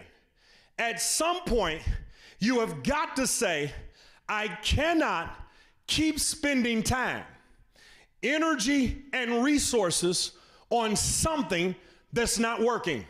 I'm done trying to analyze the situation. I'm done with benefit of the doubt. I'm done trying to explain and cover for them. I'm done trying to make it more than what it is. I simply, in this season, have to move on. I want to help somebody on today, and here is tough love. Let me talk directly to you. Can't you see it's not working? Can't you see they really don't want you? Can't you see they don't like you like that? Can't you see what they really think about you? Can't you see them for who they really are? Can't you tell by their actions that they don't have the same view toward the relationship that you do? Can't you see it for what it is? And when you see it for what it is, it's simply time for you to move on. I thought that what we had would never end, but now it's too late. My heart won't mend. Here's what you got to learn to do pack up, cut your losses, and keep on chucking and moving ahead. I remember not long ago when I was in seminary uh, before the seminary I attend right now, when I was in seminary for my graduate studies. In between classes, we would go for a snack, and I went to a vending machine. And I would go to this vending machine to get snacks out of it. And so I went to this particular vending machine to get some potato chips. When I went to the vending machine, I put my money in it, and then I pressed the buttons to get what I desired. But I noticed that even though I put the money in it, nothing was moving. So for a moment, I said, wait a minute, maybe I didn't put enough in it. So I put more into it. And then I pushed the buttons again, but it still didn't give me what I was looking for. I was tempted to shake the machine kick the machine, stay there and put more money on it, but I had to cut my losses and move on because I discovered that either I can keep putting and investing into something that was not working, or I could cut my losses and keep it moving. Somebody right now, you keep putting time, energy, smiles, all of your resources into something, somebody that's not giving you anything in return.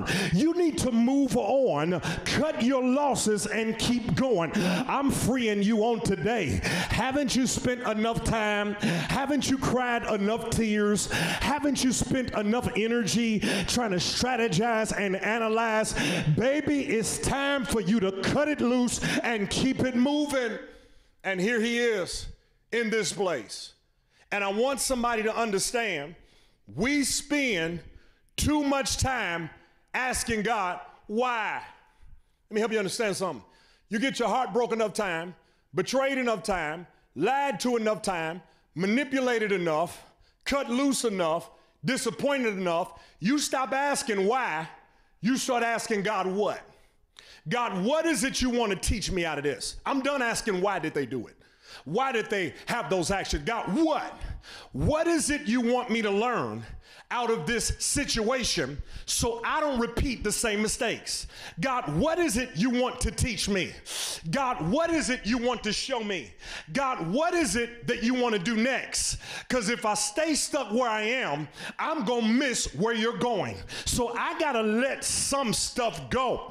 Because if I stay stuck here, I'm going to lose more time, lose more sleep, and lose more energy. So here's what I am going to do I'm going to change my prayer from why God to what God. God, what is it you trying to show me? God, what is the next thing you want to do? God, what is the lesson I need to learn? I'm changing from why to asking you what. What is the next door you want to open? I came to tell somebody on today that those who sow in tears shall reap in joy. Stop asking God why it happened. Start asking God for what's next. Here it is. He says, How long are you going to stay there? There's a lizard that's an absolutely amazing thing to me. This lizard has the ability, when it gets into a fight or a jam, what the lizard will do is when he sees that he's losing, is that the lizard will literally give up its tail. When he sees that he's in a jam or a fix or a fight he can't get out of, the lizard allows his enemy to take his tail and he keeps on going. He has learned in order to survive, he's got to cut his losses and keep looking ahead. Some of us need to learn how to do that. Sometimes you got to accept the loss. Sometimes you got to accept the heartbreak. Sometimes you got to accept it is what it is. But here's what I want you to know you can live to experience something greater ahead. The lizard knows that his tail can grow back again, that that's why he gives it up because in another season he will grow back what he lost. I came to tell somebody this is the year for you to cut your losses, but still look forward to the next season. God has something greater in store for your life. And if you can let some stuff go and move into your destiny, you will discover that God has got another move. But Samuel, he's stuck and he can't shift gears. I, don't know if you've been there before. And it's easy for us to beat up Samuel. Hold on. Samuel had invested a lot of time in, so it's easy for us to criticize him. But instead of us just criticizing him, I think we need to look at him and learn how we too can find ourselves in the same situation. In his defense, this is the first king. Samuel feels as though he's failed because Saul has failed. Watch this. So he's rationalizing perhaps what went wrong. In fact, I wouldn't doubt if Samuel is interceding to God on Saul's behalf, saying, God, couldn't you just give him another chance? M- maybe it was me. Because you know, when something goes wrong, the first thing you do, if you're a rational thinking person and somebody who's sensitive to the spirit, the first thing you do when a relationship is ruptured, something falls apart, you take some introspective, internal looks at yourself and say, God, maybe it was me. Maybe I could have been more kinder. Maybe I could have been more gentler. Maybe I should have spent more time in them. Maybe, God, where did I go wrong? I want to free somebody on today. Grown people are all accountable for their own actions. I want to help a mother on today. Stop blaming yourself for your son's misbehavior.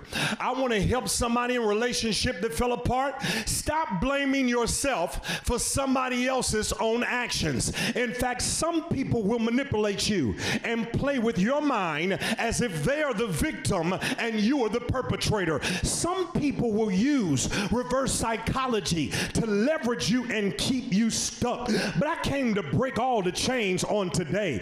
Each person must give an account for their own actions. Samuel, it's not your fault that Saul made that unlawful sacrifice. It's not your fault that Saul disobeyed God's order. It's not your fault. Stop blaming yourself and beating yourself up over what somebody else did. It's time for you to shift gears and keep on moving moving forward. I need somebody to hear this. Yes, in situations, you need a time to grieve. There is a time to mourn. There is a time to cry over a loss in your life, whether it be a divorce, whether it be a breakup, whether it be a friendship, whether it be somebody and something going wrong in your life. But you got to move from mourning to moving ahead. You got to stop crying and say to yourself, I've cried my last tears. I am not going to allow myself to slip into a depression over somebody else's decision. I am not going to let your decision depress me and discourage me. For the spirit of heaviness, put on a garment of praise by the unction of the Holy Ghost. I want somebody in your house right now to stand up on your feet, lift up your hands as if the shackles have been loose. I'm done apologizing for them. I'm done being the one considered the perpetrator. I'm done making excuses. I'm done coming to their defense. I'm done blaming myself. I'm done apologizing. From this day forward, I've cried my last tear on yesterday. I need some people who got some bounce back in them, who can understand that even though it broke up, even though it didn't go the way you wanted, even though things fell apart, God has got another move. Y'all got to excuse me. I got another point to go. But is there anybody at your house who will just type out on your keyboard, God has got another move? And this is what God says to Samuel. He says, I know you're sad, point number one. I know you're stuck, point number two. But I need you to shift, point number three.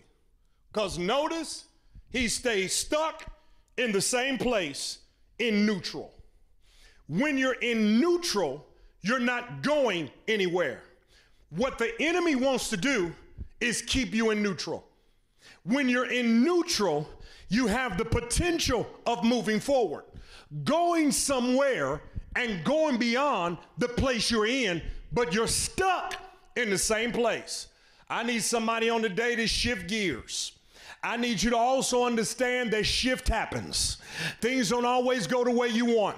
Stuff can sometimes go wrong, but that's all right. When shift happens, you need to shift gears and keep moving ahead because the good news is God has got another move. Look at what God says. Not only do I have another move, I got another man. I've already anointed the next king. Yes, things have fallen apart with Saul. Saul is no longer going to be the king. He's got the position and the title, but in a matter of time, the new king will be on the throne. And here's what I need somebody to know if you don't hear anything else, it's time for you to shift gears. Stop crying and giving energy, thought, and time to places and to people where you no longer can get any productivity. Some stuff you cannot resuscitate. Some things you got to pull the plug on. There is no need in thinking it can be revived because some stuff is not going to come back. Some relationships won't be mended. Some places you can't go back to. Some things will never be the same. But the good news is God has got another move. And I need you to hear this on today. Somebody I'm talking to, you have been holding on grudges since high school. You got people you mad at from high school. Need to move on from. You need to move on from that relationship because your ex has already got remarried. You need to move on from that corporation and company. Stop worrying about what's happening over there. Stop worrying about what's happening at the church you left. Stop worrying about the places you've already been. Stop checking up on people where the relationship has already dissolved because you're going to miss God's next move. I need you to hear me on today. Your ex has already remarried. They've already got somebody else to fill that position. The votes have already been counted and the winner has been announced. That building you were hoping for has already been sold. That house you were hoping to get, the offer has already been accepted. But here's the good news what God has for you, it is for you. If you can cut your losses, keep on moving forward, you'll step into your future.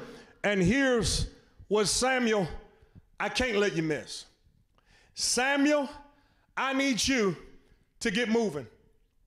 You've been stuck, staying in that place far too long. I need you to move because if you don't move, you're going to miss my next move. Oh, I'm going to say it again. Samuel, I need you to move because if you don't move, you're going to ne- miss the next move of God. God said, fill up your horn with oil. Get up from where you are, fill up your horn with oil. I need you to get your horn out. I need you to fill it back up with oil because I've got another king. I want you to go down to Jesse's house. I want you to go there because there I provided for myself a new king. I want you to fill up your horn with oil. The oil is what was used to anoint people, and it was used to anoint instruments that God would use. The oil is a representation of the Holy Spirit and the favor of God. When the oil would flow, it was an indication that God was about to move. When the oil was poured, it was a sign of the favor of God that God was getting ready to do something new. I need you to fill up your horn with oil. That means I need you to have the expectation of what I'm getting ready to do in this season. Some of us, that's what God came to say. God said, You've had your horn empty. And when the horn is empty, that means you're empty of expectation. But when you fill your horn up with oil, that means you got expectation that God is getting ready to do something good in your life. I need somebody on the day to know God is getting ready to let the oil flow. He's getting ready to bring laughter where there was sorrow. God is getting ready to bring peace where there was turmoil. God is going to bring clarity where there was confusion. You need to fill up your horn with oil with greater expectation. Pastor, how do I do that? I need you to open up your mouth. Tell God to fill me afresh again with your precious Holy Ghost. God, restore to me the joy of my salvation. Give me that expectation, that joy unspeakable and full of glory. God, give me a sense of peace that you're still moving on my behalf because I believe everything I've been through has prepared me for where I'm getting ready to go to. I believe everything I've walked out of has prepared me for what I'm about to walk into. Now, this ain't for everybody, but is there anybody on the line who has great expectations of what God is going to do in this season of your life? I dare you to type out on your screen great expectations, great expectations for new relationships, new friendships, new opportunities, new promotions, new blessings, new good things to happen in my life. So the reason I can't stay stuck feeling sorry for myself because I'm celebrating over what God is getting ready to do. I dare you to stand on your feet, open up your mouth, throw your head back, and say, It's time for me to move. And here's why I need you to get ready, Samuel. Because when I introduce you to David, I don't want you to carry the same concerns into this new relationship and situation. I don't want the smell of what you've been through to ruin where you're getting ready to go into. I need you to prepare for the next encounter. Fill up your horn with oil. Because when you go to David, he's going to need somebody who's got expectation. When you meet the new people, they're going to need to meet somebody who's got the fullness of the Holy Ghost. When you go to the next place, they're going to need you to have a smile on your face. I feel like talking to somebody right now. God has more people for you to pour into. God has a new place that He's prepared just for you. And you've got to be careful not to come in there with the grief of your past, the pain from your past, the hurt you've experienced in your history. You've got to come into a new situation with new expectation to say, This time things are going to be different. In fact, when Samuel goes to the house of Jesse, he overlooks the sons of Jesse, but God had chosen his king, a boy who was just a shepherd in the sheepfold. David comes out of the sheepfold, and there Samuel poured the oil over David, and the oil began to flow because God was starting a new thing. So God had to pull him out of his old so he could walk him into his new. In fact, the anointing takes place in this same exact chapter because God wanted you to know that in the same season you suffered loss, I can also give you gain. In the same season you had sorrow, I can also bring you joy. I need you to fill your horn up with oil because I'm getting ready to introduce you to David. And if you keep crying over Saul, you're going to miss what I'm doing with David. Who is King David? David would be anointed to be the king, and God was really just getting started. David would consolidate the nation. David would bring the stage of the nation to a national platform. David would fight battles. He had a giant to slay, so he needed somebody who had the fullness of the Spirit who could pour into him in a new season. Somebody, God said, I've got some people right now who are praying for your personality. I got some people right now who've been looking for what you got to offer. Don't you allow the people who rejected you and the stuff that failed you in the past cause you to think that God does not have a future for you because God says, I know the thoughts I have toward you, thoughts of good and not of evil, to give you a future and a hope. But I need you to walk away from your past so you can step into your destiny because there David would be anointed, but David would go on to be the king. Not only would David be the king, out of his loin and lineage would come the king of kings. You thought I was through with you? I'm just getting started. Saul was just a warm up. What you experienced was just practice. But now I'm about to bring you to a bigger stage. Now I'm getting ready to land this plane, but I'm going to preach for myself right now. God told me to tell us on today that New Direction Church, I'm just getting started. All the battles you fought, all the mountains you've overcome, all the things you've experienced was just a warm up. I was getting you ready for this season because the best is yet to come. I came to prophesy over this house and speak to you at your house that you ain't seen nothing yet. God said the glory on that house is going to be greater than the former because I'm getting ready to pour out a new wave. I'm getting ready to do a new thing. I'm getting ready to open up a new door. But I need somebody at home to start to move like you believe it. I dare you to stand up on your feet, open up your mouth with praise, clap your hands, oh ye people, and shout unto God with a voice of triumph. Is there anybody at your house who just believes now is the time? I am the one. This is the season for God to do exceedingly abundantly above all I could ever ask. If that's you on today, I dare you to stand up on your feet and rise and shine and give God some glory. I said, rise and shine and give God some praise. If He's fought any battles, if He's won any victories, if He's dried any tears, somebody shout, won't He? Won't He make a way?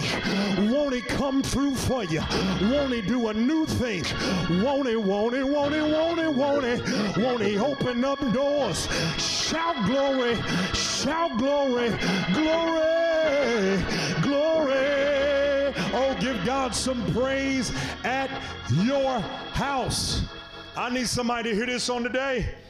It's time to move on. I speak this in the spirit. God says, Samuel, Saul was just the beginning. If you stay stuck focused on Saul, you're going to miss David. Out of David would come Jesus, the King of Kings and the Lord of Lords. You're caught up on your past. God is focused on your future. Oh, I want to say it again. You're spending so much time on your past when God is not concerned about your past. God is more concerned about your future than he is your past.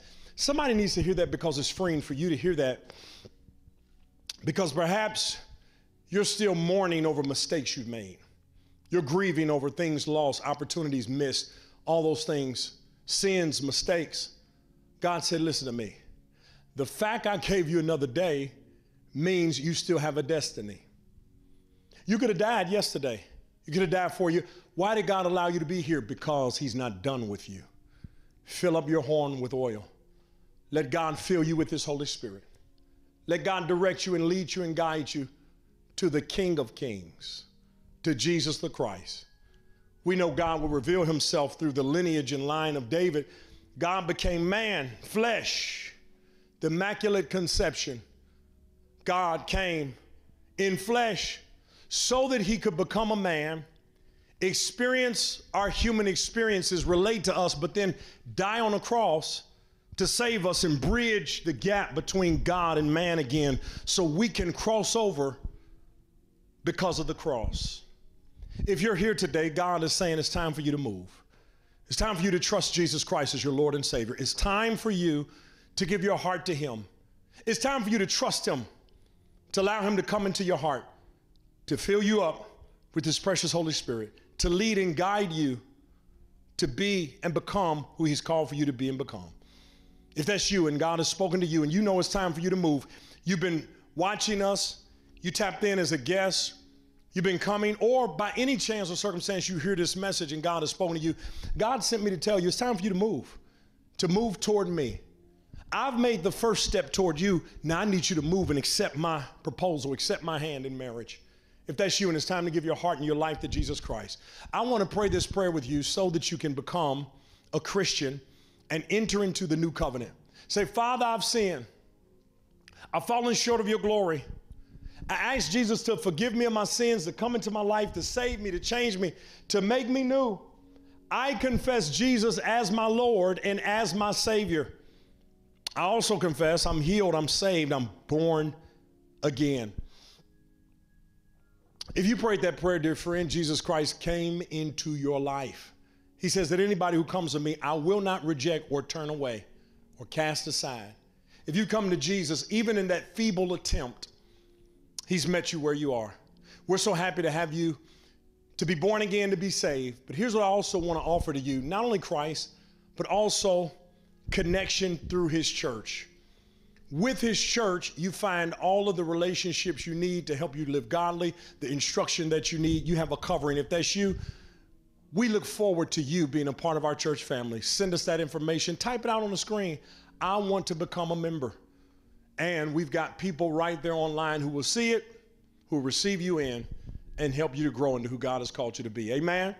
Amen. We give God all the glory for that. Listen, now that as we've closed our services out, I want to give a quick announcement that on Father's Day, everybody say Father's Day. In fact, type it out. We will be open on the ground Father's Day at 8:30 a.m. and 11:30 a.m.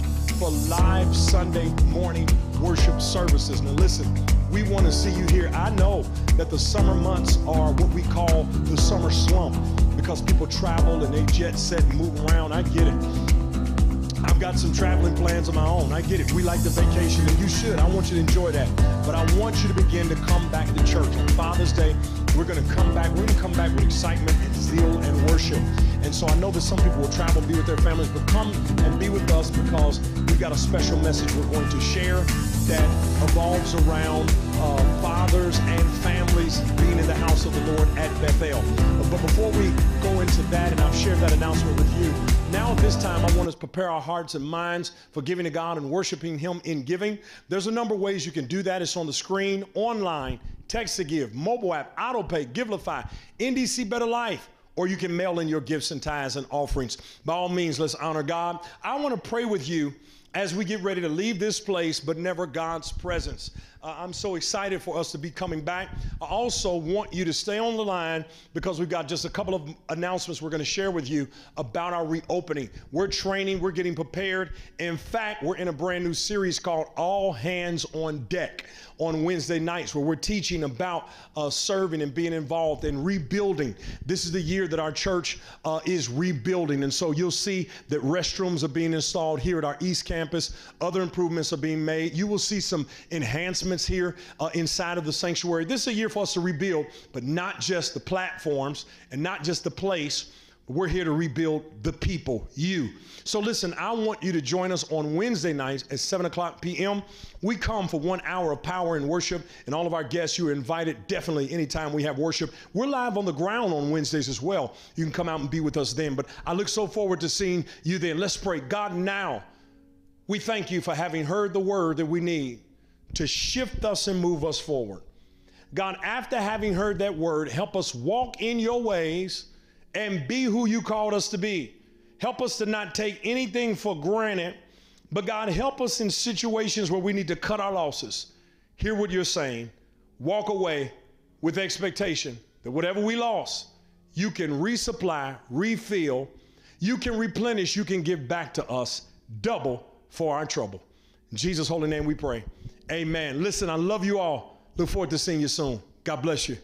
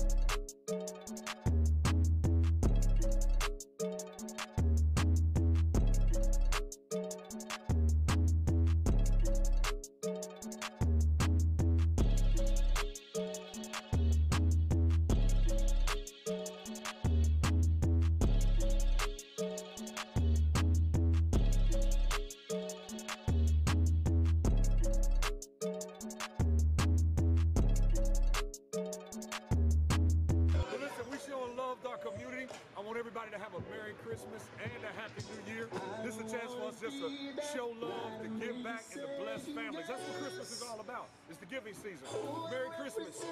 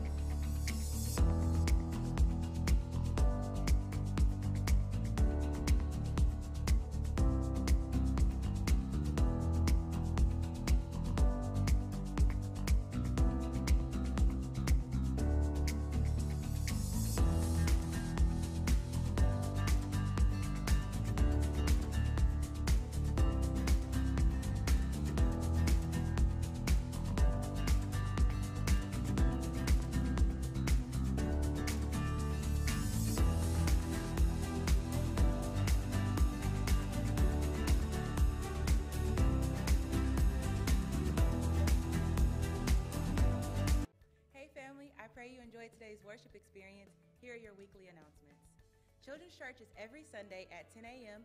via Facebook and Zoom. Hi, I'm Yolanda. And I'm James, and we want to invite you to the couples ministry every first Thursday of the month, meeting at the Zoom link. It's for all married couples, all engaged couples. Come and fellowship with us as we build each other up. We hope to see you there.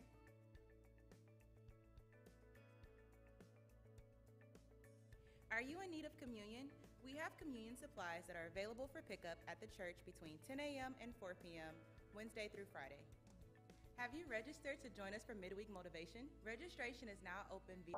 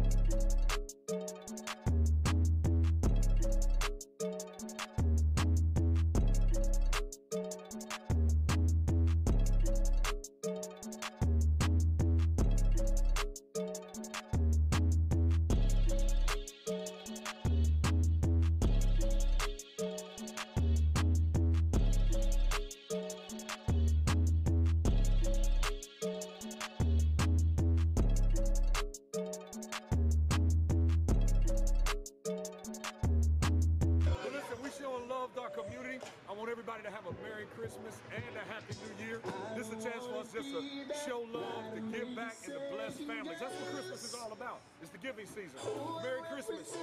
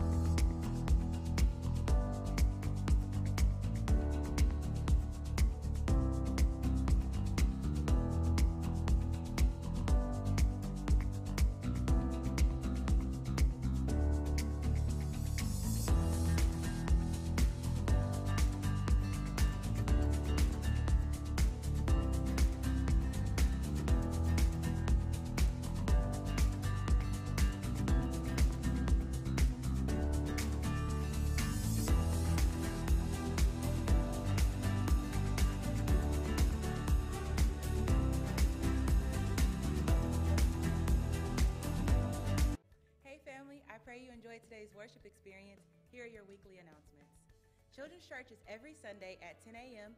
via Facebook and Zoom. Hi, I'm Yolanda. And I'm James, and we want to invite you to the couples ministry every first Thursday of the month, meeting at the Zoom link. It's for all married couples, all engaged couples. Come and fellowship with us as we build each other up. We hope to see you there.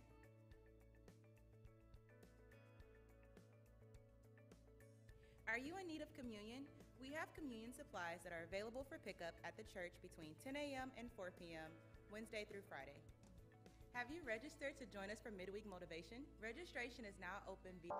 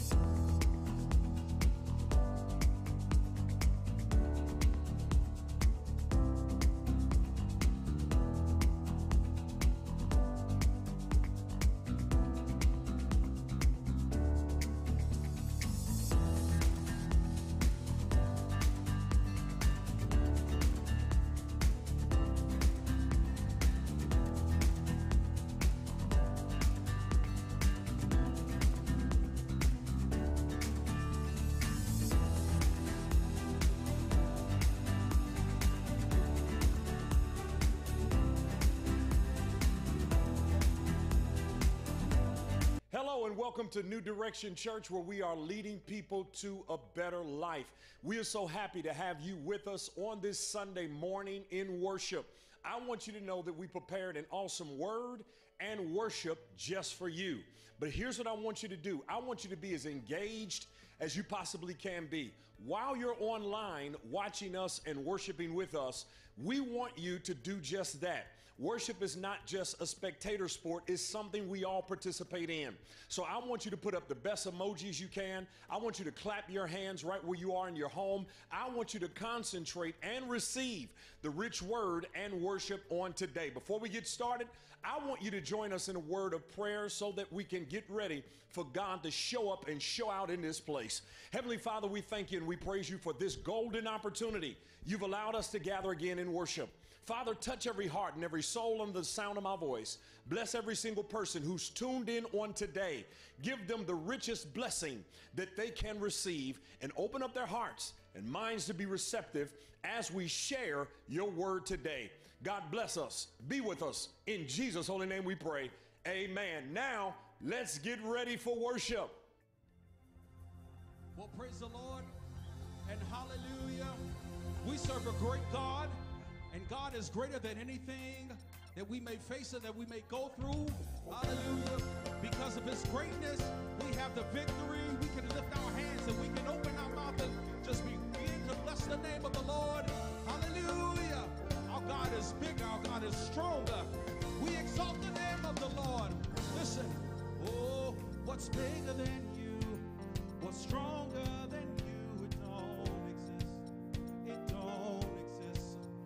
What's more powerful or more in control? It don't exist. It don't exist. Who else can rescue me? Supply all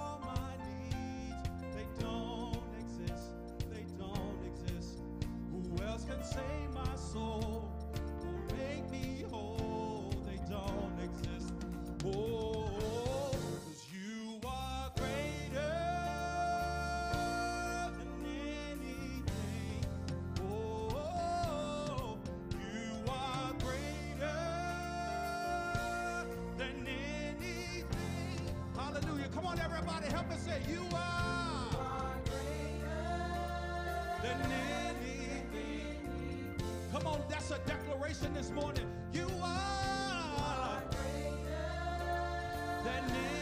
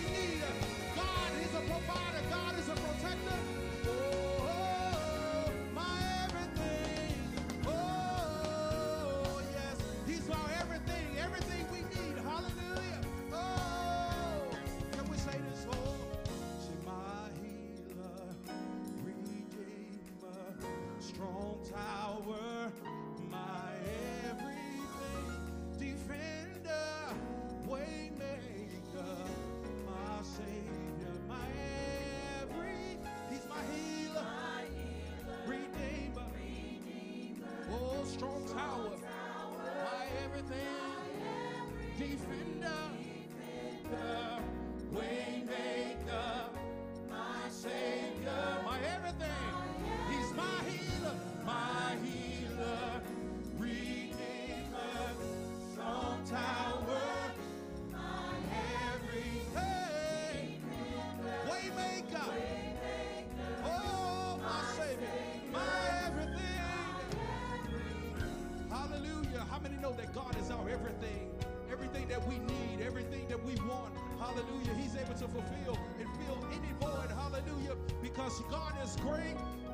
the greatest power. We shall never be defeated.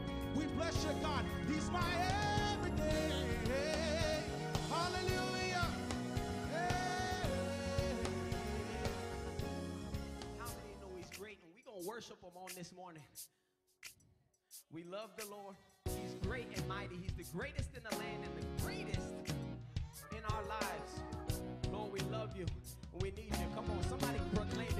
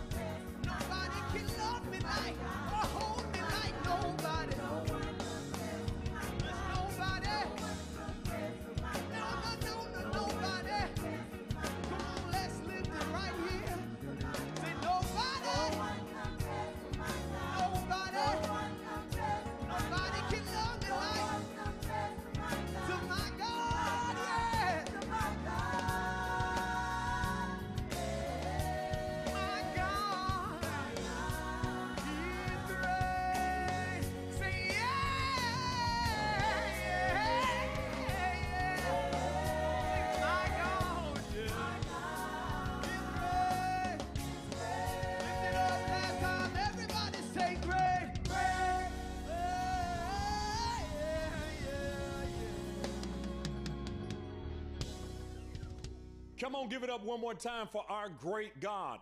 The scripture says, God is great and he's greatly to be praised. So here's what I want you to do put your hands together for our awesome and amazing music department as they have led us in honoring and glorifying our great God.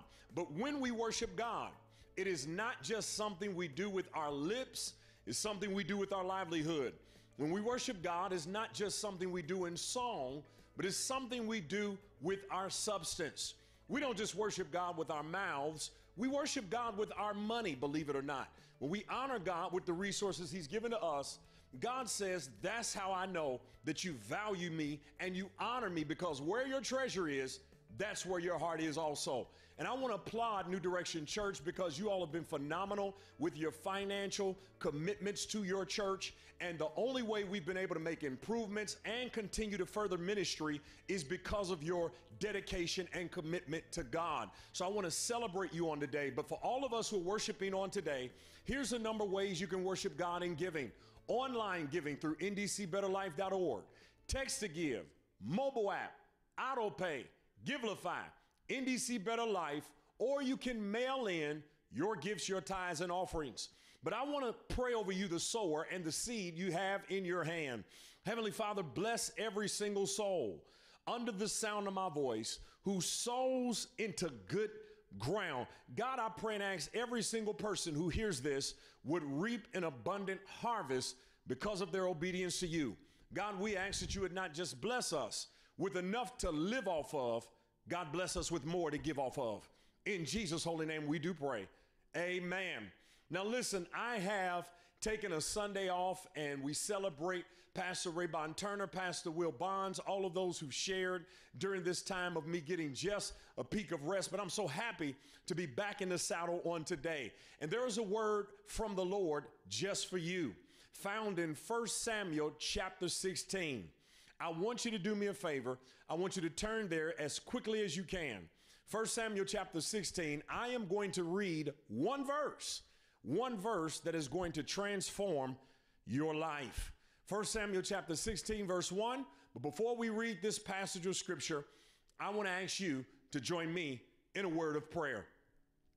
God, again, we come before you asking for your help, your guidance, your aid, and assistance to teach, to preach, to exclaim and proclaim your thoughts, your hearts to the mind of your people. God bless us now as we delve into your word and look to hear what it is you have to say to us. Use me on today like you have never used me before to speak to the hearts and minds of your hearers. In Jesus' holy name we do pray. Amen. Here it is, 1 Samuel chapter 16, verse 1, and I'm reading from the New King James Version. Here's what it says Now the Lord said to Samuel, How long will you mourn for Saul? Seeing I have rejected him from reigning over Israel. Fill your horn with oil and go. I am sending you to Jesse the Bethlehemite, for I've provided myself a king among his sons. How long will you mourn over Saul? It's time to move on. And that's what I want to talk about on today, and that is simply move on. I want you to type that out. Move on. All of us have moments in our lives where we deal with some form of disappointment. Moments when things don't turn out the way we wanted or had wished or hoped for. Moments when our dreams or our expectations have eluded us. And it is important in those moments that we don't allow ourselves to stay stuck. One thing I have discovered is that successful people have this uncanny ability to bounce back. That if you are going to be a happy and healthy and whole person, you have got to learn how to move on from disappointment and continue to move forward in your life. Yes, all of us will deal with some form of disappointment. We will deal with some form of grief. And sometimes it's important for us to take a time off for us to grieve over certain things that have taken place in our lives. The scripture does say that there's a time to grieve, there's a time to laugh, there is a time to mourn, but some of us take too time to mo- too much time to mourn when in fact we need to move on. And today I want to stretch you. I want to give you some tough love. I want to help you to move on from things in your life that have kept you stuck. Because somebody on today, there's something that you were hoping for, something you were wanting to happen that didn't happen the way you wanted it to, and it sort of kept you stuck. Today, I want to shift you forward because here's what I believe everything that has happened in your past has prepared you for your future, that God has greater ahead for your life. And if you are going to walk into the destiny that God has called for you to walk into, if you're going to reach that destiny, you've got to move on from the place of disappointment. In fact, this is the word that God gives to Samuel, his prophet. God speaks to Samuel and tells him, notice again, how long are you going to stay stuck in the same place? It's important for us to understand the backdrop. That Samuel is a priest as well as a prophet. Samuel lays hands on the first king of Israel, Saul, and anoints him to be the king. The Israelite people demanded, they wanted, and they desired to have a king like their neighboring nations. And when they looked at their neighboring nations, they said, We want a king for ourselves. God said, No, what I'm running right now is a theocracy. I am your king. But they said, We want a king that is flesh and blood. God said, Okay, I'm going to give you what you asked for, but I want you to understand it's not going to necessarily be what you want. I want to insert this really quickly. This is why we got to learn to be careful what we ask for because you just might get it. Saul becomes the king, and just as God predicted, Saul would be so selfish and self centered that he would step into sin and he would begin to do things that went against God. It would not only be something that went against God, but it would harm the very people who asked him to be king. And here at this time, God has already spoken to Samuel that he is in fact going to replace Saul, and he's already got another king in the wings that is waiting.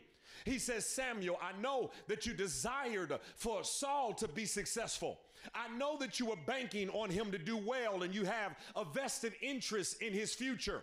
But I need you to understand that I've already made up in my mind to make Saul an example of what it means to disobey me. So, what I have done is I've already got a replacement ready. And if you stay stuck focusing on Saul, you are going to miss the next move I prepared for your life. And this is where I want to help somebody on today because there's so much that this text teaches us that can help push us from the place we found ourselves in stuck. Notice first that Samuel is sad. He's sad because Saul has been rejected. God has already said, I'm rejecting Saul and I'm getting ready to replace him. Samuel is sad because he had a relationship with Saul. He was his pastor, he was his mentor, he had groomed him, he was his advisor, he was his counselor, he was his friend. But things did not turn out in terms of Saul succeeding as Samuel had desired. And because he invested so much in Saul, because he had spent so much time teaching him, talking to him, wanting things to work out. Now he is disappointed because the very person and the very thing he invested so much time in didn't turn out the way he wanted. And I'm talking to somebody right now. That's where you are in this place. You were disappointed because you spent so much time in that position at that job only to be let go. Somebody invested in a relationship that simply dissolved and is no longer what you desired. Somebody invested their time and their hard earned money in starting up that business, and now you've had to close your doors. Somebody had a friendship that's fallen apart, and you've had years with that person, but you all have fallen out, and now you are separated, but you seem to have found yourself stuck. I want to help somebody on today. This is why you cannot put all of your trust in people, in positions, or places, but you've got to learn to put your trust and your faith in God because family and friends will fail you. Jobs will let you go. Government will disappoint you, but God is faithful to the end. And what we've got to learn how to do is put our faith and our trust in God and Him alone and nothing else because life is filled with swift transitions.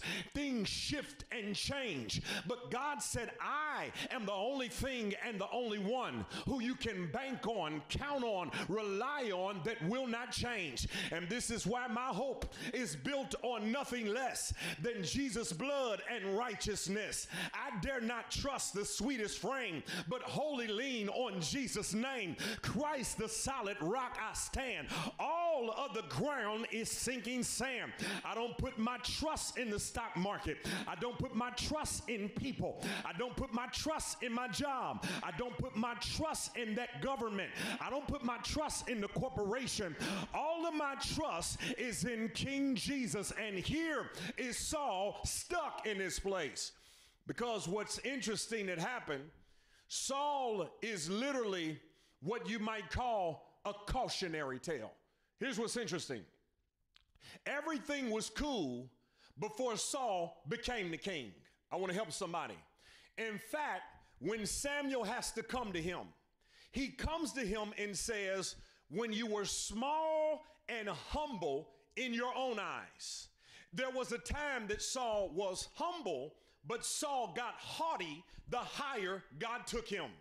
And because he had shifted and changed, now he's losing everything he had because he's allowed how high he has gone to cause him to get haughty. It is a cautionary tale that the higher God takes us, the more humble we must be. It was a progression where Saul first started succeeding, but then he started slipping as he begins to succeed, he starts sinning and getting more distant from God. Watch this. First, he begins to uh, not obey the orders of God. God told him kill the king, and he didn't kill the king Agag. And because Saul didn't do that, God said, "You've disobeyed me." Then he decided to keep some spoils for himself. Not only that, there was a time they were getting ready to go to battle, and Saul decided that he was going to make the offering and the sacrifice that were reserved for Samuel to make. God said, I've had enough with him because he is no longer humble but haughty. Now that he's been able to succeed, he starts slipping. I want to help somebody on today because this is where a whole lot of us make a mistake. God starts blessing us and we get the big head. God starts taking us higher and we get haughty. God start opening up doors and we start slipping. See, sometimes I've discovered that when we're struggling, we can be more faithful to God. But sometimes when we are successful, we start drifting and forgetting that God is the one that gave us what we had. I've discovered that sometimes people cannot be faithful once they get the job they prayed for. That sometimes once they secured the job, gotten the position, finally got the woman, finally got the man, finally got the door open, that's when they drift from God. And Saul serves as a cautionary tale that no matter how high God takes us, we always must be humble and honor him at every stage. And here it is Samuel is mourning. Samuel's mourning because he has tried to warn Saul. He's trying to tell Saul, slow down. You're getting ahead of yourself. Don't disobey God like this. Samuel has spent hours praying and pleading with Saul. He says, Saul, I see you're slipping, but, but God is not going to like that. There is nothing more disappointing than watching people you love and care for make bad choices and decisions.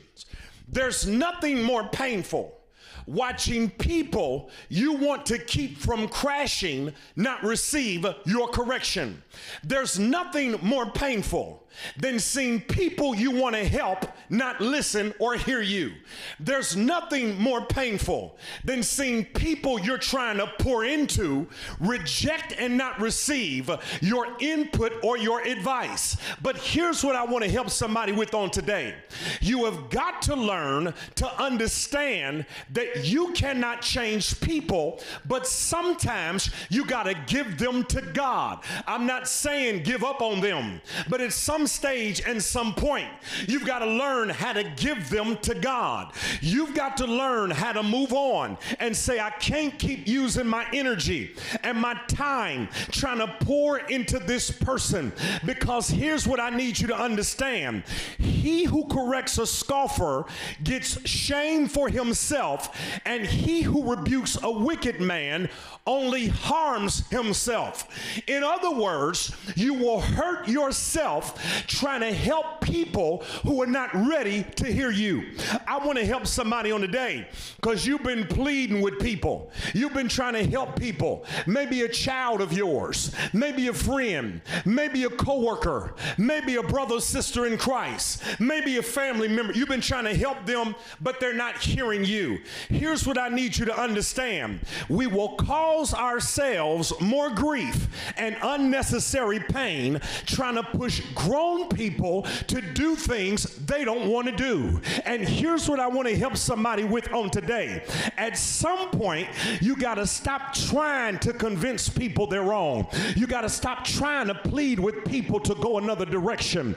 You have got to learn to take your hands off of the situation and give them to God. You cannot try to take people where they don't want to go, lead them to drink water they don't have a desire for, and become a person they don't want to be. You cannot continue to convince people to give up what they don't want to give up and do what they don't desire. You will drive yourself crazy, frustrate yourself, hurt yourself, and hinder yourself. And sometimes you can want more for people than they want for themselves. Now, I'm talking to somebody in here on today that you have given energy, thoughts, advice, contacts, resources to people who don't want to hear you, will not listen. You have got to learn how to stop pouring into leaky vessels that cannot carry your content. I'm going to say it again. You have got to learn to stop pouring into leaky vessels that cannot carry your content. Jesus said, Don't throw your pearls before swine because they don't appreciate your advice, your time, or your resources. At some point, you got to stop pouring into leaky people. And here it is. He's been pouring into him. Saul, don't do that. Saul, this is what you need to do. Here's the direction you need to go. Saul, don't make that decision. Don't make that choice. Saul was determined to do things his own way. I want somebody to get this and absolutely hear me. Stop pouring in to leaky people who cannot keep your content. There's nothing more frustrating than pouring a substance into a container that can't keep it. The other day, I poured some water into a water bottle and I discovered that there was water seeping from the vessel.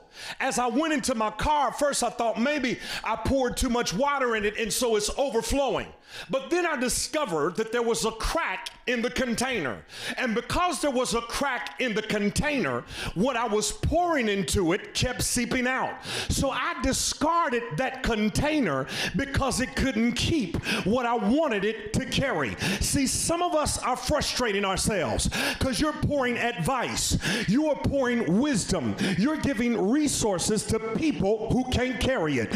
Stop pouring in people who got cracks in their character and cannot keep what you contain. Stop giving them advice and they won't listen. Stop giving them money and they waste it. Stop giving them time. Stop feeling like you got to take their call. Stop feeling like you got to respond to their email. Stop feeling like you got to respond to their text. At some point, you got to stop pouring into leaky people because you got to understand what you have is precious.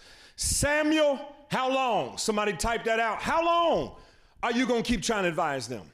How long are you going to keep loaning them money? How long are you going to keep bailing them out? How long are you going to keep answering their call? How long are you going to keep coming to their defense? At some point, you have to make up in your mind to move on. I want somebody to type this out on the day. Move on. And I want you to put it in capital letters. Stop pouring all kinds of time, thought, power, and energy and resources into people who disappoint you. Stop feeling obligated to answer them and respond. Stop saying yes to things when you really want to say no. Stop committing yourself to stuff that you really don't want to do. At some point, you got to say, you know what? I'm moving on. I have spent enough time crying over this, pouring time over this. I cried my last tear yesterday. I'm done trying to advise you. At this point, I'm taking my hands off of it and I'm giving it to God. But wait a minute, we don't just see that Samuel is sad. Point number one, he's saddened because of Saul's rejection and Saul's rebellion. But he's not just saddened. Notice the text says Samuel is stuck. Samuel is still mourning and grieving over Saul. I'm going to give it to you. God comes to him and asks him the question, How long are you going to mourn? In fact, watch God. I've already moved on. I've already prepared his replacement. Oh, I feel like preaching this on today. I feel like somebody need to hear this to the left, to the left. Everything you own in the box to the left. You need to tell some people goodbye. You need to let some stuff go. You need to take your hands off of it because some of us are staying stuck. And perhaps what Samuel is doing is what we ourselves tend to do. We begin to pour and plead over situation and pray with God hoping he'll change it. God said, I'm not changing my mind this time. I'm not going to re implement him. I've already got his replacement. Since I've moved on, I need you to move on because you are going to miss my next move. Sometimes God allows stuff to go wrong to show you it's not in his will. Sometimes God doesn't let stuff work so he can show you it's not in his will. The reason I let Saul do what he did because Saul is going to be rejected, but I've already got his replacement. Sometimes we want stuff to work and we try hard to make it work and we work so long to make it fit. Somebody on today, there's some stuff you need to let go of and move on from. Because here's the problem, and we all are guilty of this. All of us are guilty of having moments when we try to force something to fit and make it work. And then what happens is we end up adjusting to situations we need to really detach ourselves from. Let me help you. Sometimes, like Samuel, we stay too long in situations that will not change hoping it will improve, hoping it will get better. Sometimes we will even try to accept dysfunction and stuff that's not working, stuff that's not producing, stuff that's no good for us, and things that are unacceptable because we get used to it and familiar with it. And so we adjust to it and adapt to it because we really don't like change. Some of us, instead instead of us abandoning what's not working, we've adjusted to what's not working and adapted to dysfunction, accept certain things because it's familiar to us and we get a sense of security out of it. So because so now somebody's in a relationship that you've been in for 10 years and they haven't talked about marrying you, but you're holding out hope that one day you're going to get married, but you always have these makeups to breakups. At some point, you got to love yourself enough to say, I am not going to adapt or adjust to dysfunction. If you don't want me, then don't talk to me. Go ahead and free yourself. Somebody right now, that person is not a friend, they're a frenemy. But because you're so familiar with them, you've adjusted to them rather than walking away from it. Somebody's in another situation where you are tied to something, stuck in that situation, but God said it's time for you to move on. We cry and try so desperately to make things fit, to force things to work. We bend over backwards trying to make it more than what it is. But honey, it is what it is. You can't sugarcoat it, camouflage it, make it look better than what it is. Don't stay stuck in that situation. Accept it for what it is. Because if it's not suitable, you need to shift. And some stuff is not to be understood, it's to be accepted. I'm going to say that again because I think you missed it. Some things are not to be understood, they're simply meant to accept. That means I'm going to stop trying to figure out why you don't like me. I'm going to stop trying to figure out how I've been good to you and you don't appreciate it.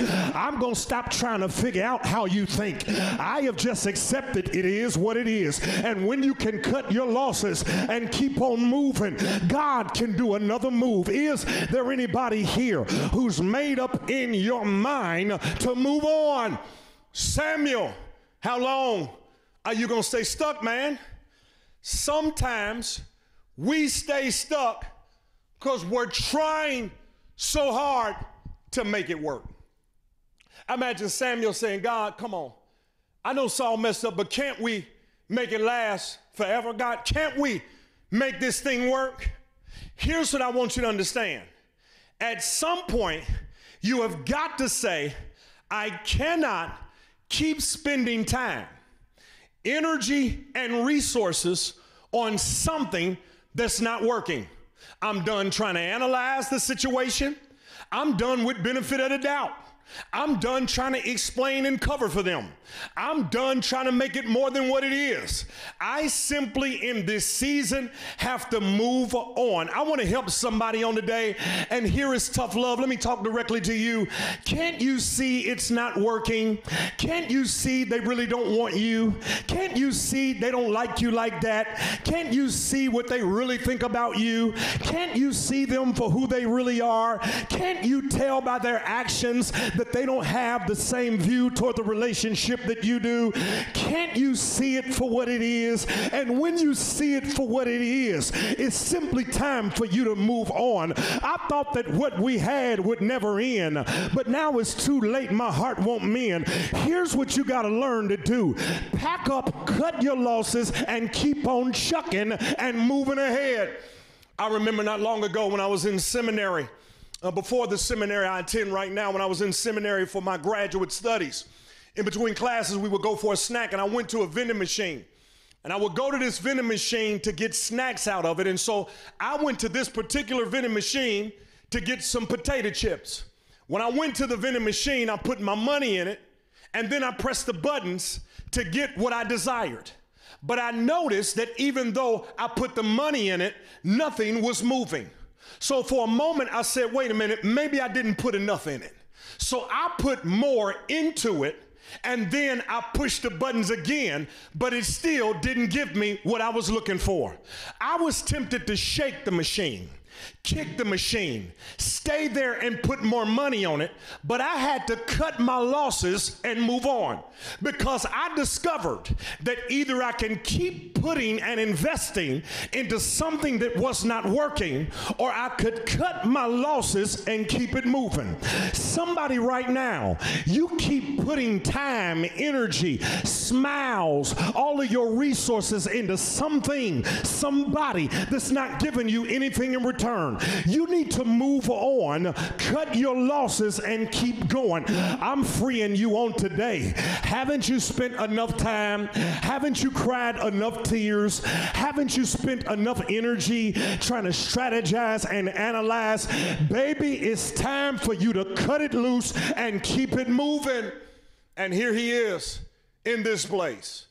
And I want somebody to understand we spend too much time asking God, why? Let me help you understand something. You get your heart broken enough time, betrayed enough time, lied to enough time, manipulated enough, cut loose enough, disappointed enough. You stop asking why, you start asking God what? God, what is it you want to teach me out of this? I'm done asking why did they do it? Why did they have those actions? God, what? What is it you want me to learn out of this situation so I don't repeat the same mistakes? God, what is it you want to teach me? God, what is it you want to show me? God, what is it that you want to do next?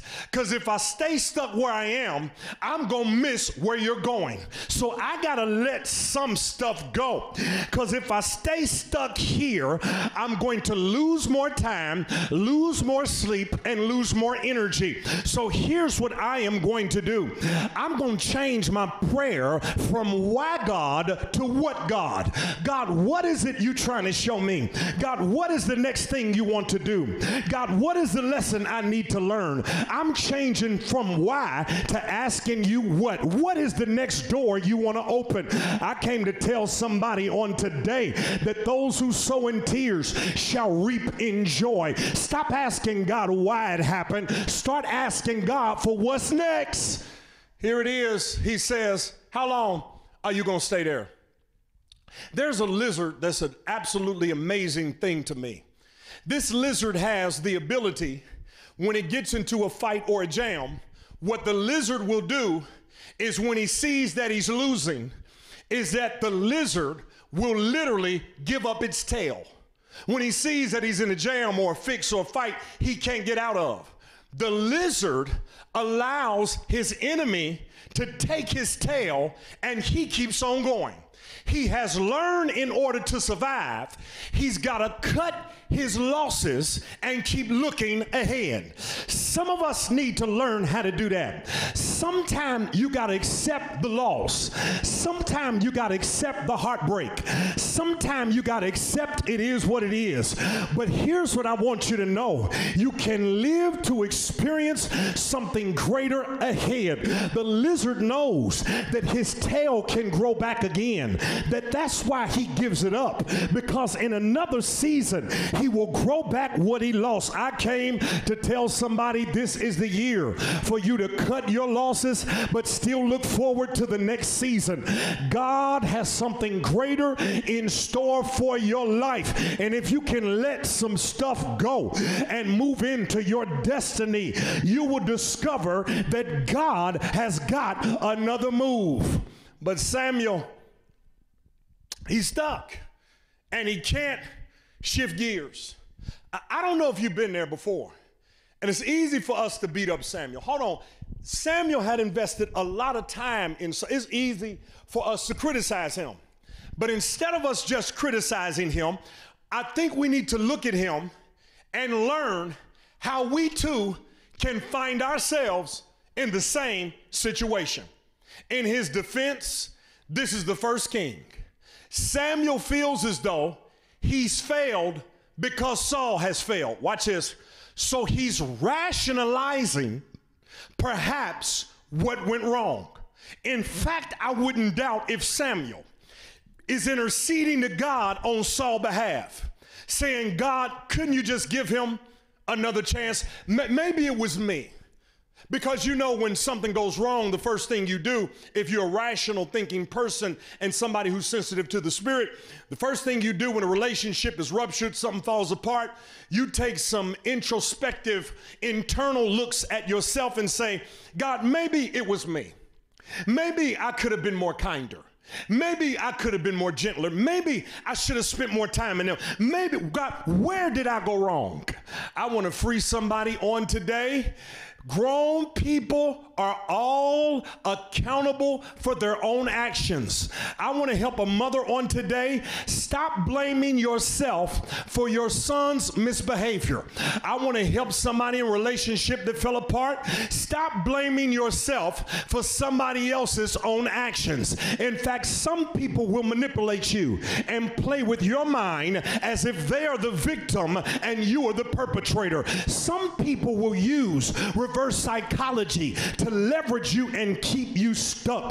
But I came to break all the chains on today. Each person must give an account for their own actions. Samuel, it's not your fault that Saul made that unlawful sacrifice. It's not your fault that Saul disobeyed God's order. It's not your fault. Stop blaming yourself and beating yourself up over what somebody else did. It's time for you to shift gears and keep on moving forward. I need somebody to hear this. Yes, in situations, you need a time to grieve. There is a time to mourn. There is a time to cry over a loss in your life, whether it be a divorce, whether it be a breakup, whether it be a friendship, whether it be somebody and something going wrong in your life. But you got to move from mourning to moving ahead. You got to stop crying and say to yourself, I've cried my last tears. I am not going to allow myself to slip into a depression over somebody else's decision. I am not going to let your decision depress me and discourage me. For the spirit of heaviness, put on a garment of praise by the unction of the Holy Ghost. I want somebody in your house right now to stand up on your feet, lift up your hands as if the shackles have been loose. I'm done apologizing for them. I'm done being the one considered the perpetrator. I'm done making excuses. I'm done coming to their defense. I'm done blaming myself. I'm done apologizing. From this day forward, I've cried my last tear on yesterday. I need some people who got some bounce back in them, who can understand that even though it broke up, even though it didn't go the way you wanted, even though things fell apart, God has got another move. Y'all got to excuse me. I got another point to go. But is there anybody at your house who will just type out on your keyboard, God has got another move? And this is what God says to Samuel. He says, I know you're sad, point number one. I know you're stuck, point number two. But I need you to shift, point number three. Because notice, he stays stuck in the same place in neutral. When you're in neutral, you're not going anywhere. What the enemy wants to do is keep you in neutral. When you're in neutral, you have the potential of moving forward, going somewhere and going beyond the place you're in, but you're stuck in the same place. I need somebody on the day to shift gears. I need you to also understand that shift happens. Things don't always go the way you want.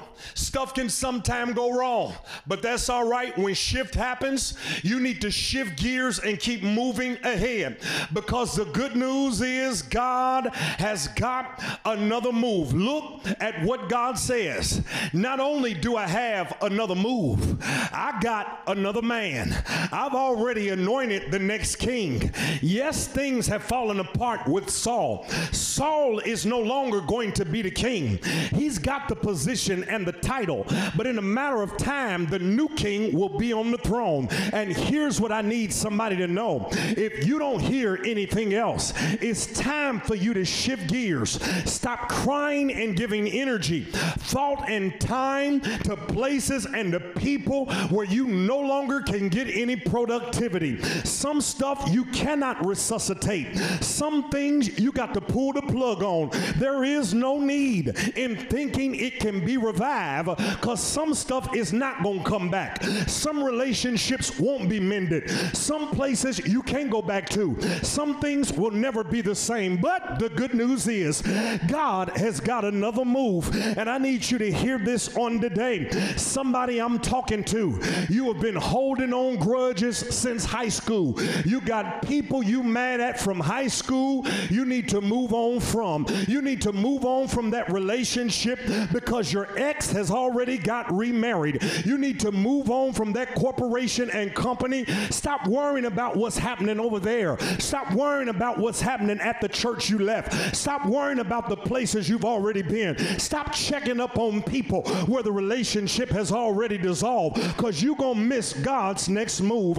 I need you to hear me on today. Your ex has already remarried. They've already got somebody else to fill that position. The votes have already been counted and the winner has been announced. That building you were hoping for has already been sold. That house you were hoping to get, the offer has already been accepted. But here's the good news what God has for you, it is for you. If you can cut your losses, keep on moving forward, you'll step into your future.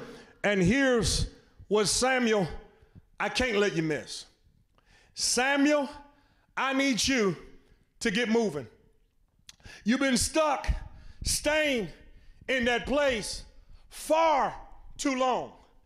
I need you to move because if you don't move, you're going to miss my next move. Oh, I'm going to say it again. Samuel, I need you to move because if you don't move, you're going to ne- miss the next move of God. God said, fill up your horn with oil. Get up from where you are, fill up your horn with oil. I need you to get your horn out. I need you to fill it back up with oil because I've got another king. I want you to go down to Jesse's house. I want you to go there because there I provided for myself a new king. I want you to fill up your horn with oil. The oil is what was used to anoint people, and it was used to anoint instruments that God would use. The oil is a representation of the Holy Spirit and the favor of God. When the oil would flow, it was the indication that God was about to move. When the oil was poured, it was a sign of the favor of God that God was getting ready to do something new. I need you to fill up your horn with oil. That means I need you to have the expectation of what I'm getting ready to do in this season. Some of us, that's what God came to say. God said, You've had your horn empty. And when the horn is empty, that means you're empty of expectation. But when you fill your horn up with oil, that means you got expectation that God is getting ready to do something good in your life. I need somebody on the day to know God is getting ready to let the oil flow. He's getting ready to bring laughter where there was sorrow. God is getting ready to bring peace where there was turmoil. God is going to bring clarity where there was confusion. You need to fill up your horn with oil, with greater expectation. Pastor, how do I do that? I need you to open up your mouth. Tell God to fill me afresh again with your precious Holy Ghost. God, restore to me the joy of my salvation. Give me that expectation, that joy unspeakable and full of glory. God, give me a sense of peace that you're still moving on my behalf because I believe everything I've been through has prepared me for where I'm getting ready to go to. I believe everything I've walked out of has prepared me for what I'm about to walk into. Now, this ain't for everybody, but is there anybody on the line who has great expectations of what God is going to do in this season of your life?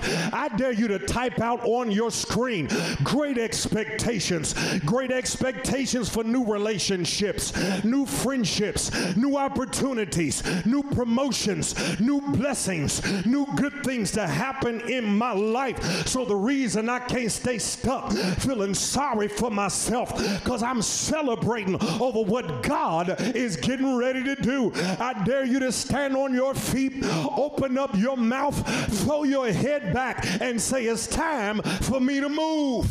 And here's why I need you to get ready, Samuel. Because when I introduce you to David, I don't want you to carry the same concerns into this new relationship and situation. I don't want the smell of what you've been through to ruin where you're getting ready to go into. I need you to prepare for the next encounter. Fill up your horn with oil. Because when you go to David, He's going to need somebody who's got expectation. When you meet the new people, they're going to need to meet somebody who's got the fullness of the Holy Ghost. When you go to the next place, they're going to need you to have a smile on your face. I feel like talking to somebody right now. God has more people for you to pour into. God has a new place that He's prepared just for you. And you've got to be careful not to come in there with the grief of your past, the pain from your past, the hurt you've experienced in your history. You've got to come into a new situation with new expectation to say, This time things are going to be different. In fact, when Samuel goes to the house of Jesse, he overlooks the sons of Jesse, but God had chosen his king, a boy who was just a shepherd in the sheepfold. David comes out of the sheepfold, and there Samuel poured the oil over David, and the oil began to flow because God was starting a new thing. So God had to pull him out of his old so he could walk him into his new. In fact, the anointing takes place in this same exact chapter because God wanted you to know that in the same season you suffered loss, I can also give you gain. In the same season you had sorrow, I can also bring you joy. I need you to fill your horn up with oil because I'm getting ready to introduce you to David. And if you keep crying over Saul, you're going to miss what I'm doing with David. Who is King David? David would be anointed to be the king, and God was really just getting started. David would consolidate the nation. David would bring the stage of the nation to a national platform. David would fight battles. He had a giant to slay, so he needed somebody who had the fullness of the Spirit who could pour into him in a new season. Somebody, God said, I've got some people right now who are praying for your personality. I got some people right now who've been looking for what you got to offer. Don't you allow the people who rejected you and the stuff that failed you in the past cause you to think that God does not have a future for you because God says, I know the thoughts I have toward you, thoughts of good and not of evil, to give you a future and a hope. But I need you to walk away from your past so you can step into your destiny because there David would be anointed, but David would go on to be the king. Not only would David be the king, out of his loin and lineage would come the king of kings. You thought I was through with you? I'm just getting started. Saul was just a warm up. What you experienced was just practice. But now I'm about to bring you to a bigger stage. Now I'm getting ready to land this plane, but I'm going to preach for myself right now. God told me to tell us on today that New Direction Church, I'm just getting started. All the battles you fought, all the mountains you've overcome, all the things you've experienced was just a warm up.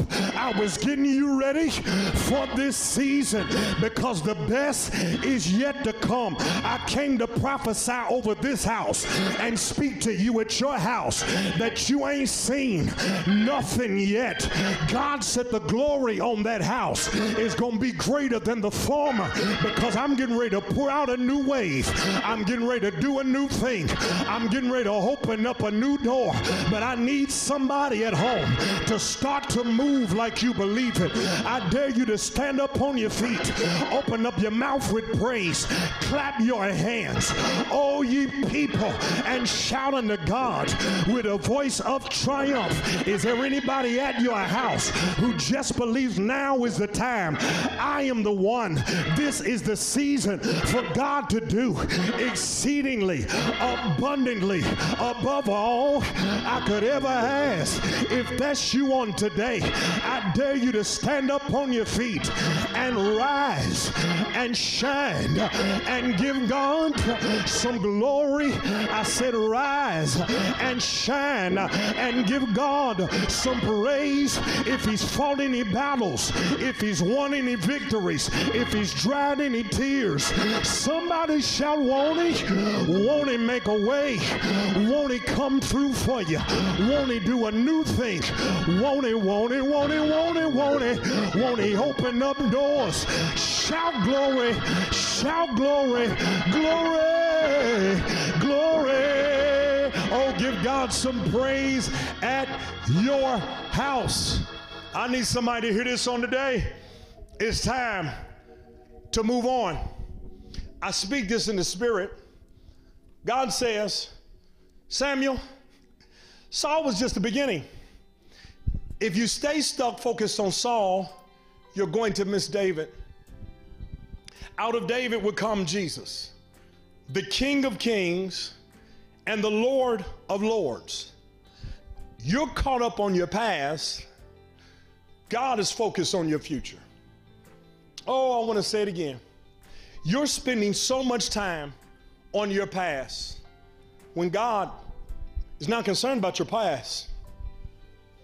God is more concerned about your future than he is your past. Somebody needs to hear that because it's freeing for you to hear that. Because perhaps you're still mourning over mistakes you've made. You're grieving over things lost, opportunities missed, all those things, sins, mistakes. God said, Listen to me. The fact I gave you another day means you still have a destiny. You could have died yesterday. You could have died for you. Why did God allow you to be here? Because He's not done with you. Fill up your horn with oil. Let God fill you with His Holy Spirit. Let God direct you and lead you and guide you to the King of Kings, to Jesus the Christ. We know God will reveal Himself through the lineage and line of David. God became man, flesh, the immaculate conception. God came in flesh so that he could become a man, experience our human experiences, relate to us, but then die on a cross to save us and bridge the gap between God and man again so we can cross over because of the cross. If you're here today, God is saying it's time for you to move. It's time for you to trust Jesus Christ as your Lord and Savior. It's time for you to give your heart to Him. It's time for you to trust Him, to allow Him to come into your heart, to fill you up with His precious Holy Spirit, to lead and guide you to be and become who He's called for you to be and become. If that's you and God has spoken to you and you know it's time for you to move, you've been watching us, you tapped in as a guest, you've been coming, or by any chance or circumstance you hear this message and God has spoken to you, God sent me to tell you it's time for you to move, to move toward me. I've made the first step toward you. Now I need you to move and accept my proposal, accept my hand in marriage. If that's you and it's time to give your heart and your life to Jesus Christ, I want to pray this prayer with you so that you can become a Christian and enter into the new covenant. Say, Father, I've sinned. I've fallen short of your glory. I ask Jesus to forgive me of my sins, to come into my life, to save me, to change me, to make me new. I confess Jesus as my Lord and as my Savior. I also confess I'm healed, I'm saved, I'm born again. If you prayed that prayer, dear friend, Jesus Christ came into your life. He says that anybody who comes to me, I will not reject or turn away or cast aside. If you come to Jesus, even in that feeble attempt, He's met you where you are. We're so happy to have you to be born again, to be saved. But here's what I also want to offer to you not only Christ, but also connection through His church. With His church, you find all of the relationships you need to help you live godly, the instruction that you need. You have a covering. If that's you, we look forward to you being a part of our church family. Send us that information, type it out on the screen. I want to become a member. And we've got people right there online who will see it, who receive you in, and help you to grow into who God has called you to be. Amen. Amen. We give God all the glory for that. Listen, now that as we've closed our services out, I want to give a quick announcement that on Father's Day, everybody say Father's Day. In fact, type it out. We will be open on the ground Father's Day at 8:30 a.m. and 11:30 a.m. for live Sunday morning worship services. Now listen, we want to see you here. I know that the summer months are what we call the summer slump because people travel and they jet set and move around. I get it. I've got some traveling plans of my own. I get it. We like the vacation, and you should. I want you to enjoy that. But I want you to begin to come back to church. On Father's Day, we're going to come back. We're going to come back with excitement and zeal and worship. And so I know that some people will travel and be with their families, but come and be with us because we've got a special message we're going to share that evolves around uh, fathers and families being in the house of the Lord at Bethel. Uh, but before we go into that, and I've shared that announcement with you, now at this time, I want us to prepare our hearts and minds for giving to God and worshiping Him in giving. There's a number of ways you can do that. It's on the screen, online, text to give, mobile app, AutoPay, Givelify, NDC Better Life or you can mail in your gifts and tithes and offerings. By all means, let's honor God. I want to pray with you as we get ready to leave this place, but never God's presence. Uh, I'm so excited for us to be coming back. I also want you to stay on the line because we've got just a couple of announcements we're going to share with you about our reopening. We're training, we're getting prepared. In fact, we're in a brand new series called All Hands on Deck on Wednesday nights where we're teaching about uh, serving and being involved and rebuilding. This is the year that our church uh, is rebuilding. And so you'll see that restrooms are being installed here at our East Campus, other improvements are being made. You will see some enhancements here uh, inside of the sanctuary. This is a year for us to rebuild, but not just the platforms and not just the place. We're here to rebuild the people, you. So listen, I want you to join us on Wednesday nights at 7 o'clock p.m.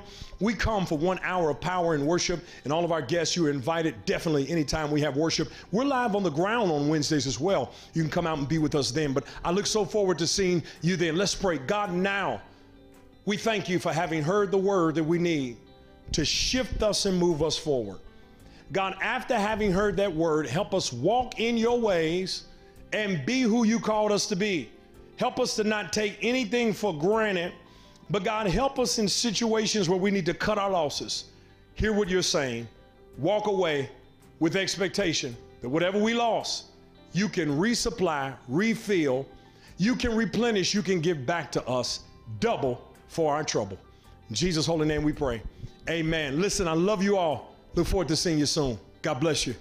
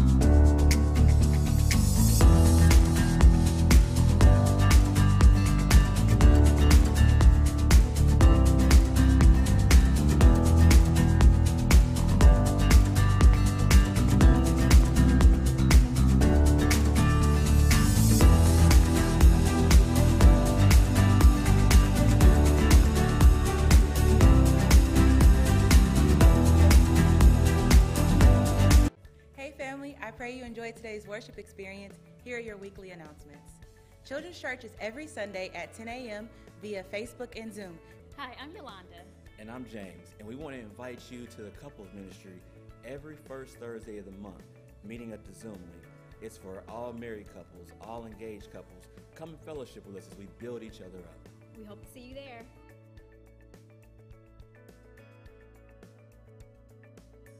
Are you in need of communion?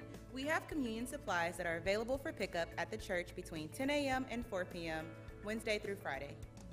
Have you registered to join us for midweek motivation? Registration is now open via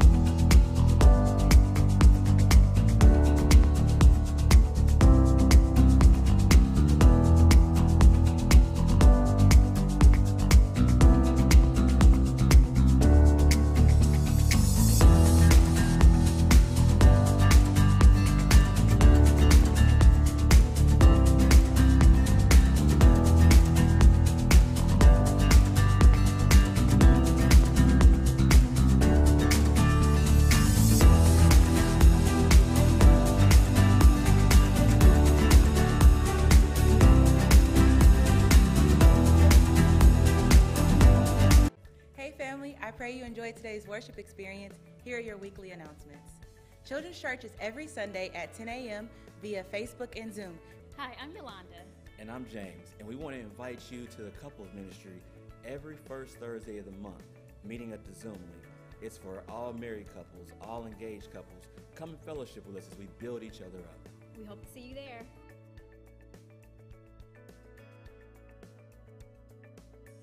Are you in need of communion?